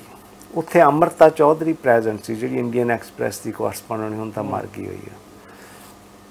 ਉਹਨੇ ਗੱਲਾਂ ਬਾਤਾਂ ਕੀਤੀਆਂ ਅਮਰ ਚੌਧਰੀ ਅਮਰਤਾ ਚੌਧਰੀ ਨੇ ਉਹਨੂੰ ਕੁਐਸਚਨ ਪੁੱਛਿਆ ਵੀ ਡੂ ਯੂ ਨੋ ਕਿ ਇੱਥੇ ਜਿਹੜਾ ਤੇਰਾ ਫਾਦਰ ਦਾ ਕਸੂਰਵਾਰ ਆ ਕਿਲਿੰਗਸ ਦੇ ਵਿੱਚ ਕਿ ਉਹ ਇੱਥੇ ਲੁਧਿਆਣੇ 'ਚ ਰਹਿ ਰਿਹਾ ਰਣਜੀਤ ਸਿੰਘ ਗਿੱਲ ਕੁੱਕੀ ਆ। ਹੂੰ। ਉਹ ਕਹਿੰਦੀ ਮੈਨੂੰ ਨਹੀਂ ਪਤਾ ਪਰ ਐ ਪਤਾ ਵੀ ਹੈਗਾ ਬਾਹਰ। ਨਹੀਂ ਉਹ ਕਹਿੰਦੀ ਵੀ ਉਹ ਬਹੁਤ ਕੁਝ ਬੋਲੀ ਨਾਲ ਕਾਫੀ ਗਲਤ ਬੋਲੀ। ਅਮਰਤਾ ਕਹਿੰਦੀ ਕਿਉਂਕਿ ਅਮਰਤਾ ਮੈਨੂੰ ਕਈ ਵਾਰ ਮਿਲ ਚੁੱਕੀ ਸੀ। ਅਮਰਤਾ ਵੀ ਪਹਿਲੇ ਮਾਈਂਡਸੈਟ ਇਹੀ ਲਈ ਸੀ ਕਿ ਮੈਂ ਕੋਈ ਰੈਡੀਕਲ ਆ ਜਾਂ ਕੁਛ ਹੈਗਾ। ਜਦੋਂ ਮੈਨੂੰ ਮਿਲੀ ਤਾਂ ਨੈਕਸਟ ਟਾਈਮ ਉਹ ਦੁਬਾਰਾ ਮੈਨੂੰ ਮਿਲਣ ਆਈ ਕਿ ਮੈਂ ਵੈਰੀ ਰੋਂਗ ਸੀ। ਹੂੰ। ਕਿ ਮੈਂ ਤਾਂ ਮੈਸਮਰਾਈਜ਼ਡ ਆ ਆਈ ਕੈਨਟ ਸੇ ਕਿ ਕਿੰਨਾ ਮੈਨੂੰ ਫ਼ਰਕ ਲੱਗਿਆ। ਜੀ। ਉਹਨੇ ਉਹਨੂੰ ਕਿਹਾ ਅਮਰਤਾ ਚੌਧਰੀ ਨੇ ਵਾਪਸ ਵੀ ਤੂੰ ਉਹਨੂੰ ਮਿਲਣਾ ਚਾਹਣੀ ਆ। ਤੇ ਜੋ ਤੂੰ ਕਹਿ ਰਹੀ ਹੋ ਤੇਰਾ ਗਲਤ ਆ ਤੂੰ ਪਰਸਨ ਨੂੰ ਮਿਲੀ ਨਹੀਂ। ਹੂੰ। ਉਹਨੇ ਝਟ ਕਹਿਤਾ ਵੀ ਹਾਂ ਮਿਲਣਾ ਚਾਹੁੰਦੀ ਉਹ ਕਹਿੰਦੀ ਵੀ ਕਿੰਨੇ ਵਜੇ? ਉਹਨੇ ਕਿਹਾ ਵੀ 3 ਵਜੇ ਕਰ ਲਾ। ਕਿੱਥੇ ਹੋਈ ਇਹ ਮੁਲਾਕਾਤ? ਆਹ ਜਿਹੜਾ ਰੀਜੈਂਸੀ ਹੈ ਕੀ ਹੈ ਯਾਰ? ਆਰਤੀ ਪੈਲੇਸ ਦੇ ਨਾਲ। ਹੂੰ। ਰੀਜੈਂਸੀ ਹੈ ਨਾ। ਇਹ ਉਹਨਾਂ ਦੇ ਰਿਸ਼ਤੇਦਾਰਾਂ ਦਾ ਇੱਥੇ ਉਹ ਠਹਿਰੀ ਹੋਈ ਸੀ। ਮੈਂ 3 ਵਜੇ ਗਿਆ ਤੇ ਮੈਂ ਤਾਂ ਇਕੱਲਾ ਹੀ ਜਾਣਾ ਸੀਗਾ ਕੋਈ ਇਦਾਂ ਦੀ ਗੱਲ ਨਹੀਂ ਸੀ। ਤੇ ਉਹ ਬੈਠੀ ਸੀ ਇਕੱਲੀ ਪਰ ਉਹਦੇ ਨਾਲ ਸਿਕਿਉਰਿਟੀ ਬਹੁਤ ਸੀਗੀ। ਮੈਂ ਮਿਲਿਆ ਉਹਨੂੰ। ਇਹ ਕਿਹੜੇ ਈਅਰ ਦੀ ਗੱਲ ਹੈ? ਇਹ 2004 ਦੀ। 4 ਦੀ ਗੱਲ। ਤੁਸੀਂ ਬਾਹਰ ਆ ਚੁੱਕੇ ਸੀ ਉਹ ਮੈਂ ਪਰੋਲ ਤੇ ਸੀ। ਪਰੋਲ ਤੇ ਸੀ। ਹਾਂ ਮੇਰੇ ਕੋਲ ਸ਼ਾਰਟ ਟਰਮ ਪਰੋਲ ਸੀਗੀ। ਮੈਨੂੰ ਕਦੀ ਪੂਰੀ ਬੇਲ ਨਹੀਂ ਦਿੱਤੀ। ਹੂੰ। ਉਹ ਮੈਨੂੰ ਮਿਲੀ ਆ। ਅਸੀਂ 5-7 2-4 ਮਿੰਟ ਪਹਿਲੇ ਗੱਲ ਕੀਤੀ ਆ ਹੱਥ ਮਿਲਾ ਕੇ ਮਿਲੇ ਆ ਤਾਂ। ਤੇ ਵਿਦਨ ਅਮਰਤਾ ਚੌਧਰੀ ਡਰਦੀ ਨਹੀਂ ਆਈ ਵੀ ਇਹਨਾਂ ਦੀ ਲੜਾਈ ਹੋ ਪੈਣੀ ਆ। ਹੂੰ। ਮੈਂ ਬਾਅਦ ਚ ਦੱਸਿਆ ਹੈ ਨਾ ਤੇ ਵਿਦਨ ਮਿੰਟਸ ਉਹਨੇ ਅਮਰਤਾ ਚੌਧਰੀ ਨੂੰ ਫੋਨ ਕਰਤਾ ਸੀ ਕਿ ਯੂ ਆਰ ਰਾਈਟ। ਫਿਰ ਅਸੀਂ 2 ਘੰਟੇ ਬੈਠੇ ਰਹੇ ਹਾਂ ਗੱਲਾਂ ਬਾਤਾਂ ਕਾਫੀ ਹੋਈਆਂ। ਮੈਂ ਕਿਹਾ ਵੀ ਵਿਕਟਮ ਆਪਾਂ ਦੋਨੇ ਪੋਲੀਟੀਕਲ ਇਵੈਂਟਸ ਦੇ ਵਿਕਟਮ ਆ। ਹੂੰ। ਸਾਡੇ ਨਾਲ ਵੀ ਬਹੁਤ ਕੁਝ ਹੋਇਆ। ਤੇ ਸਾਡੇ ਯੰਗ ਮਾਈਂਡ ਲਈ ਇਦਾਂ ਦੀ ਚੀਜ਼ ਨੂੰ ਫੇਸ ਕਰਨਾ ਬਹੁਤ ਔਖਾ ਸੀ।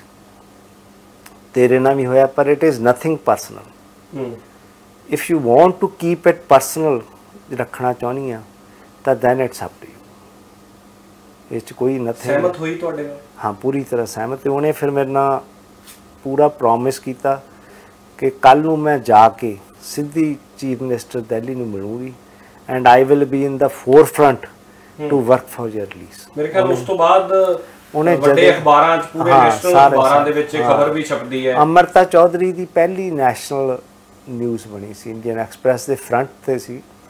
ਤੇ ਫਿਰ ਉਹ ਜਦੋਂ ਮਿਲੀ ਆ ਚੀਫ ਮਿਨਿਸਟਰ ਨੂੰ ਇਵਨ ਚੀਫ ਮਿਨਿਸਟਰ ਨੇ ਮੈਨੂੰ ਉਸ ਤੋਂ ਬਾਅਦ ਘਰੇ ਬੁਲਾਇਆ ਸੀ।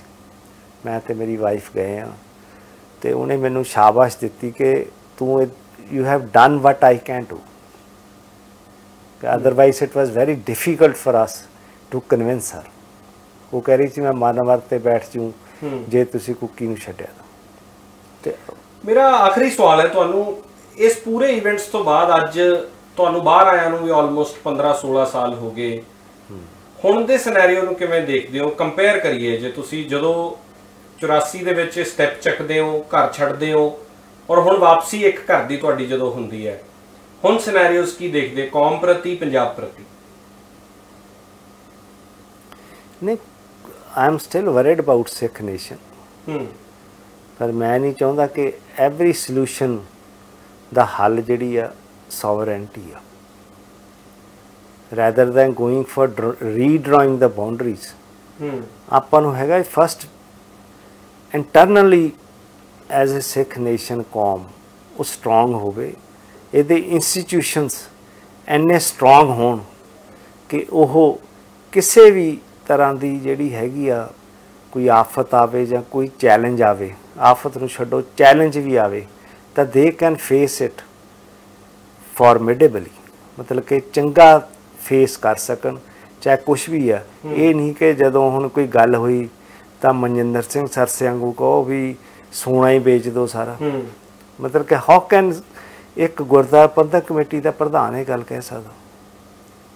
ਪਰ ਸਿੱਖ ਨੇਸ਼ਨ ਤੋਂ ਤੁਹਾਡਾ ਕੀ ਭਾਵ ਹੈ ਫੈਡਰਲ ਸਿੱਖ ਸਟੇਟ ਜਾਂ ਜਿਸ ਤਰ੍ਹਾਂ ਹਮੇਸ਼ਾ ਖਾਲਿਸਤਾਨ ਦੀ ਮੰਗ ਉੱਠਦੀ ਰਹੀ ਹੈ ਫਸਟ ਨਹੀਂ ਮੈਂ I don't agree with that ਪਰ ਪਹਿਲੀ ਤਾਂ ਡਿਮਾਂਡ ਇਹੀ ਹੈ ਕਿ ਸਿੱਖ ਐਜ਼ ਅ ਨੇਸ਼ਨ ਨੂੰ ਇੰਡੀਆ ਜਿਹੜਾ ਹੈਗਾ ਉਹ ਮੰਨੇ ਹੂੰ ਕਿਉਂਕਿ ਕਨਸਟੀਟਿਊਸ਼ਨ ਜੇ ਗਰੰਟੀ ਕਰਦਾ ਤਾਂ I think we should get that right ਜੇ ਫਿਜ਼ੀਕਲ ਮੁਸਲਮਾਨ ਬਾਉਂਡਰੀਜ਼ ਵੀ ਹੈ ਫਿਜ਼ੀਕਲ ਬਾਉਂਡਰੀ ਪਹਿਲੇ ਤਾਂ ਹੋਊਗਾ ਫਿਰ ਹਜੇ देयर इज नो ਹਜੇ ਤਾਂ ਕੋਈ ਸਕੋਪ ਹੀ ਨਹੀਂ ਹੈ ਕਿ we can redraw the national boundaries ਐਵੇਂ ਆਪਾਂ ਪਹਿਲੇ ਤੁਹਾਨੂੰ ਸਪੈਕੂਲੇਸ਼ਨ ਨੀਡ ਮਹਿਸੂਸ ਹੁੰਦੀ ਹੈ? ਜੀ ਜ਼ਰੂਰਤ ਮਹਿਸੂਸ ਹੁੰਦੀ ਹੈ? ਨਹੀਂ ਅੱਜ ਕੱਲ ਵੈਸੇ ਵਰਲਡ ਕਲੈਪਸ ਕਰ ਰਿਹਾ। ਹੂੰ।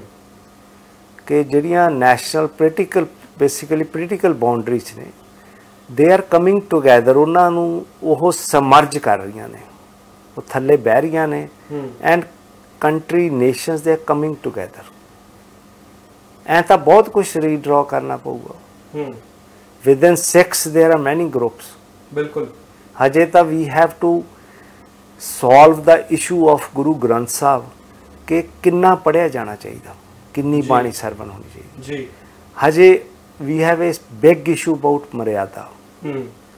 ਮਰਿਆਦਾ ਕਦੋਂ ਬਣੀ ਕੀ ਹੈਗਾ ਉਹਦੇ ਚ ਕੀ ਆ ਕੀ ਆਪਣੀ ਜਿਹੜੀ ਅਰਦਾਸ ਆ ਇਹ ਮੁਕੰਮਲ ਆ। ਜੇ ਹੁਣ ਆਪਾਂ ਕਹੀ ਜਾਂਦੇ ਕਿ ਸਾਨੂੰ ਜੀ ਦਰਸ਼ਨ ਬਲਾਸੀ ਦਿੱਤਾ ਜਾਵੇ ਹੁਣ ਕਰਤਾਰ ਸਾਹਿਬ ਖੁੱਲ ਗਿਆ ਤੁਸੀਂ ਵੀਜ਼ਾ ਲਓ ਕਿਤੇ ਵੀ ਚਲ ਜਾਓ। ਹੂੰ। ਇਹ ਇਹ ਚੀਜ਼ਾਂ ਤਾਂ ਫਿਰ they have to rethink about it ਸਾਰਾ ਕੁਝ ਰੀਥਿੰਕ ਹੋਣਾ ਚਾਹੀਦਾ। ਤੁਹਾਡੇ ਫਾਦਰ ਇੰਨੀ ਵੱਡੀ ਸ਼ਖਸੀਅਤ ਸੀਗੇ ਕੌਮ ਵਾਸਤੇ ਦੇਸ਼ ਵਾਸਤੇ ਵੀ। ਉਹਨਾਂ ਨਾਲ ਕਦੇ ਇਸ ਬਾਰੇ ਤੁਹਾਡੀ ਇਮੋਸ਼ਨਲ ਗੱਲਬਾਤ ਹੋਈ ਹੈ ਜਦੋਂ ਤੁਸੀਂ. ਕਦੇ ਵੀ? He never he never said anything nor do he discussed anything. with me. nor do he ever ask me ਕਿ ਤੇਰੇ what type of ਵਿਚਾਰ ਹੈ। ਤੁਹਾਨੂੰ ਆਜ਼ਾਦੀ ਦਿੱਤੀ ਇਸ ਗੱਲ ਦੀ ਕਿ ਜੋ ਤੁਸੀਂ ਸੋਚ ਰਹੇ ਸੀ ਉਹਨਾਂ ਵੇਲਿਆਂ ਦੇ ਵਿੱਚ ਉਹ ਜਾ ਕੇ ਤੁਸੀਂ ਆਜ਼ਾਦੀ ਮੇਰੇ ਅੱਗੇ ਖੜੇ ਵੀ ਨਹੀਂ। ਵਾਸ ਮਾਈ ਡਿਸੀਜਨ ਸੋਲੀ ਸੀਗਾ। ਈਵਨ ਜਦੋਂ ਮੈਂ ਕੋਰਟ ਵੀ ਦਿੱਲੀ ਆ ਕੇ ਪੇਸ਼ ਹੋਇਆ ਕਿਉਂਕਿ ਬਾਹਰ ਵੀ ਮੇਰਾ ਸੰਗਤ ਨੇ ਕੇਸ ਲੜਿਆ ਸੀਗਾ। ਉਹ ਵੀ ਪੂਰੀ ਨਹੀਂ ਸੀ। ਜਿਹੜੇ ਸਰਟਨ ਸਿਕਸ, ਉਹਨਾਂ ਨੇ ਬਾਕੀ ਸੰਗਤ ਵੀ ਇਨਵੋਲਡ ਰਹੀ ਆ। ਬੜਾ ਐਕਸਪੈਂਸਿਵ ਕੇਸ ਸੀਗਾ। ਇੱਥੇ ਵੀ ਪਹਿਲੇ ਹੀ ਵਕੀਲ ਕਰਕੇ ਆਏ ਸੀ। ਜਦੋਂ ਮੈਂ ਪਹਿਲੇ ਦਿਨ ਕੋਰਟ ਆਇਆ ਹੈਗਾ, ਪਹਿਲੀ ਗੱਲ ਮੈਂ ਜੱਜ ਸਾਹਮਣੇ ਪੇਰੈਂਟਸ ਆਏ ਹੋਏ ਸੀ। ਮੈਂ ਇਹਨਾਂ ਨੂੰ ਰਿਕੁਐਸਟ ਕੀਤੀ ਆ ਕਿ ਤੁਸੀਂ ਆਪਣੀ ਮਰਜ਼ੀ ਨਾਲ ਆਏ ਆ। ਜੇ ਜਾਣਾ ਚਾਹੁੰਦੇ, ਚਲੇ ਜਾਓ। ਇਹ ਮੇਰੀ ਪ੍ਰੋਬਲਮ ਆ and I I will face it ਹੂੰ ਵੀ ਮੈਂ ਨਹੀਂ ਚਾਹੁੰਦਾ ਕਿ ਤੁਹਾਨੂੰ ਕੋਈ ਦਿੱਕਤ ਆਵੇ ਪਰ ਇਟ ਵਾਸ देयर ਵੋਲੰਟਰਲੀ ਵੀ ਨਹੀਂ ਜਿੰਨਾ ਕਰ ਸਕਦੇ ਅਸੀਂ ਕਰਾਂਗੇ ਆਈਡੀਓਲੋਜੀ ਤਬਦੀਲੀ ਆਈ ਹੈ ਓਵਰ ਦਾ ਇਅਰਸ ਨਹੀਂ ਕੋਈ ਗੱਲ ਨਹੀਂ। ਉੱਥੇ ਉਦੋਂ stand ਵੀ ਕਰ- ਕੋਈ ਜਦੋਂ ਘਰੇ ਗਏ ਆ ਘਰੋਂ ਗਏ ਆ ਕੋਈ ਆਈਡੀਓਲੋਜੀ ਨਹੀਂ ਸੀ ਇੱਕ ਖਾਹਿਸ਼ ਸੀ ਕਿ ਆਪਾਂ ਕੁਝ ਕਰਨਾ ਹੁਣ ਵੀ ਮੇਰੇ ਮਨ 'ਚ ਹੀ ਖਾਹਿਸ਼ਾਂ ਨੇ ਕਿ ਸਿੱਖਸ ਨੂੰ ਜ਼ਰੂਰ ਆਪਣੀ ਆਇਡੈਂਟੀਟੀ ਜਿਹੜੀ ਹੈਗੀ ਆ ਰੀਡਿਫਾਈਨ ਕਰਕੇ ਪੂਰੀ ਤਰ੍ਹਾਂ ਪਾਲਿਸ਼ ਕਰਨੀ ਚਾਹੀਦੀ ਆ। ਕੱਲੇ ਲੰਗਰ ਵਰਤਾ ਕੇ ਕੀ ਕਰਾਂਗੇ? ਆਪਣੇ ਤਾਂ ਇੱਥੇ ਕਿਸਾਨ ਜੱਟ ਮਰ ਰਹੇ ਆ।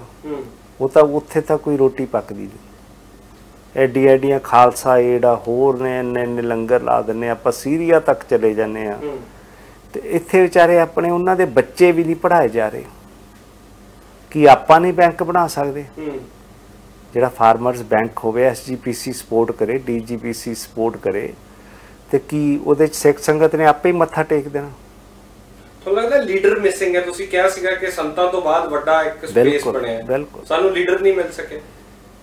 ਕੋਈ ਡੋਮੀਨੈਂਟ ਫੇਸ ਹੈ ਨਹੀਂਗਾ ਜਿਹੜਾ ਉਹਦੇ ਚ ਮੈਂ ਤੁਹਾਨੂੰ ਦੱਸਦਾ ਵੀ ਦੁਨੀਆ 'ਚ ਇੱਕ ਬੜੀ ਵੱਡੀ ਐਗਜ਼ਾਮਪਲ ਆ ਫੁੱਟਬਾਲ ਬੜੀ ਮਸ਼ਹੂਰ ਗੇਮ ਆ। ਜੀ।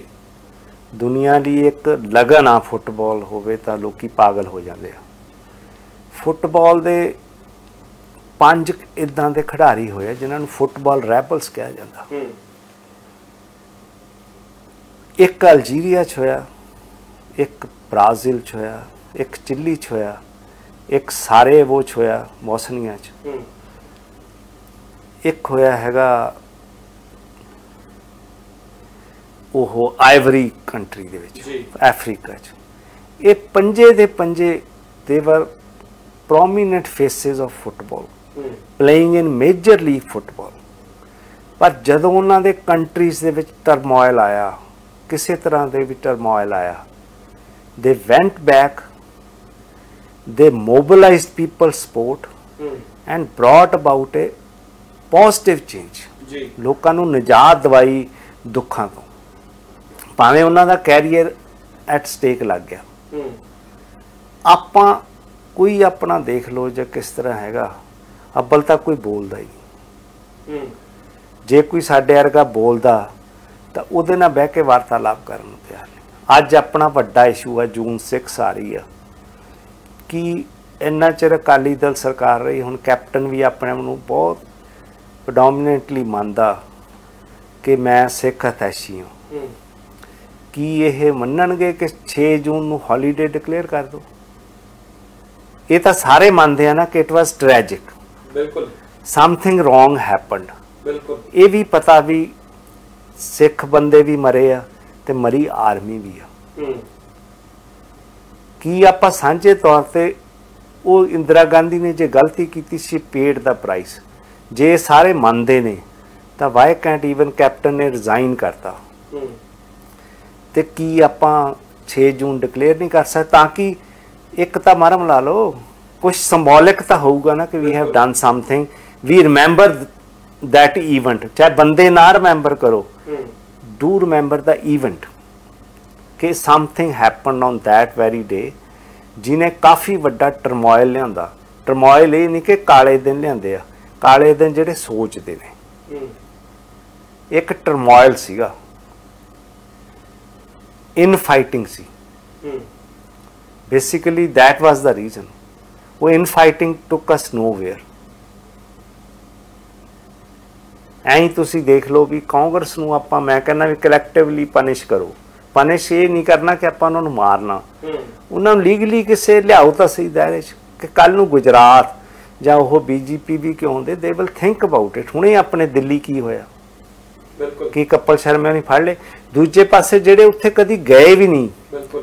And they have been put under ਸੈਡੇਸ਼ਨ ਵਿਦੇਸ਼ ਧਰੋਈ ਆ। ਇੱਕ ਕੁੜੀ ਵਿਚਾਰੀ ਪ੍ਰੈਗਨੈਂਟ ਆ ਸਾ ਪੂਰਾ ਜਿਹੜੀ ਜਰਗਾਰ। ਨਹੀਂ ਉਹ have been I wrote about it ਕਿ ਇਹ ਕੀ ਹੋ ਰਿਹਾ? ਪ੍ਰੈਸ ਪੱਤਰਕਾਰ ਆਪਣੇ ਕੁੱਟੇ ਜਾ ਰਿਹਾ ਉਹਨੇ ਪਹਿਰੇਦਾਰ ਵਾਲਾ ਕੁੱਟਿਆ। ਪੁਲਿਸ ਕੀ ਕੀ ਇੰਨੇ ਇਨਟੋਲਰੈਂਟ ਆਪਾਂ?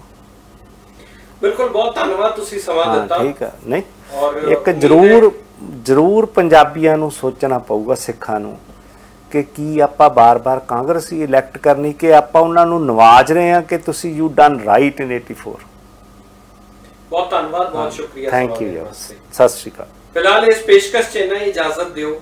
ਧੰਨਵਾਦ। ਸਤਿ ਸ਼੍ਰੀ ਅਕਾਲ।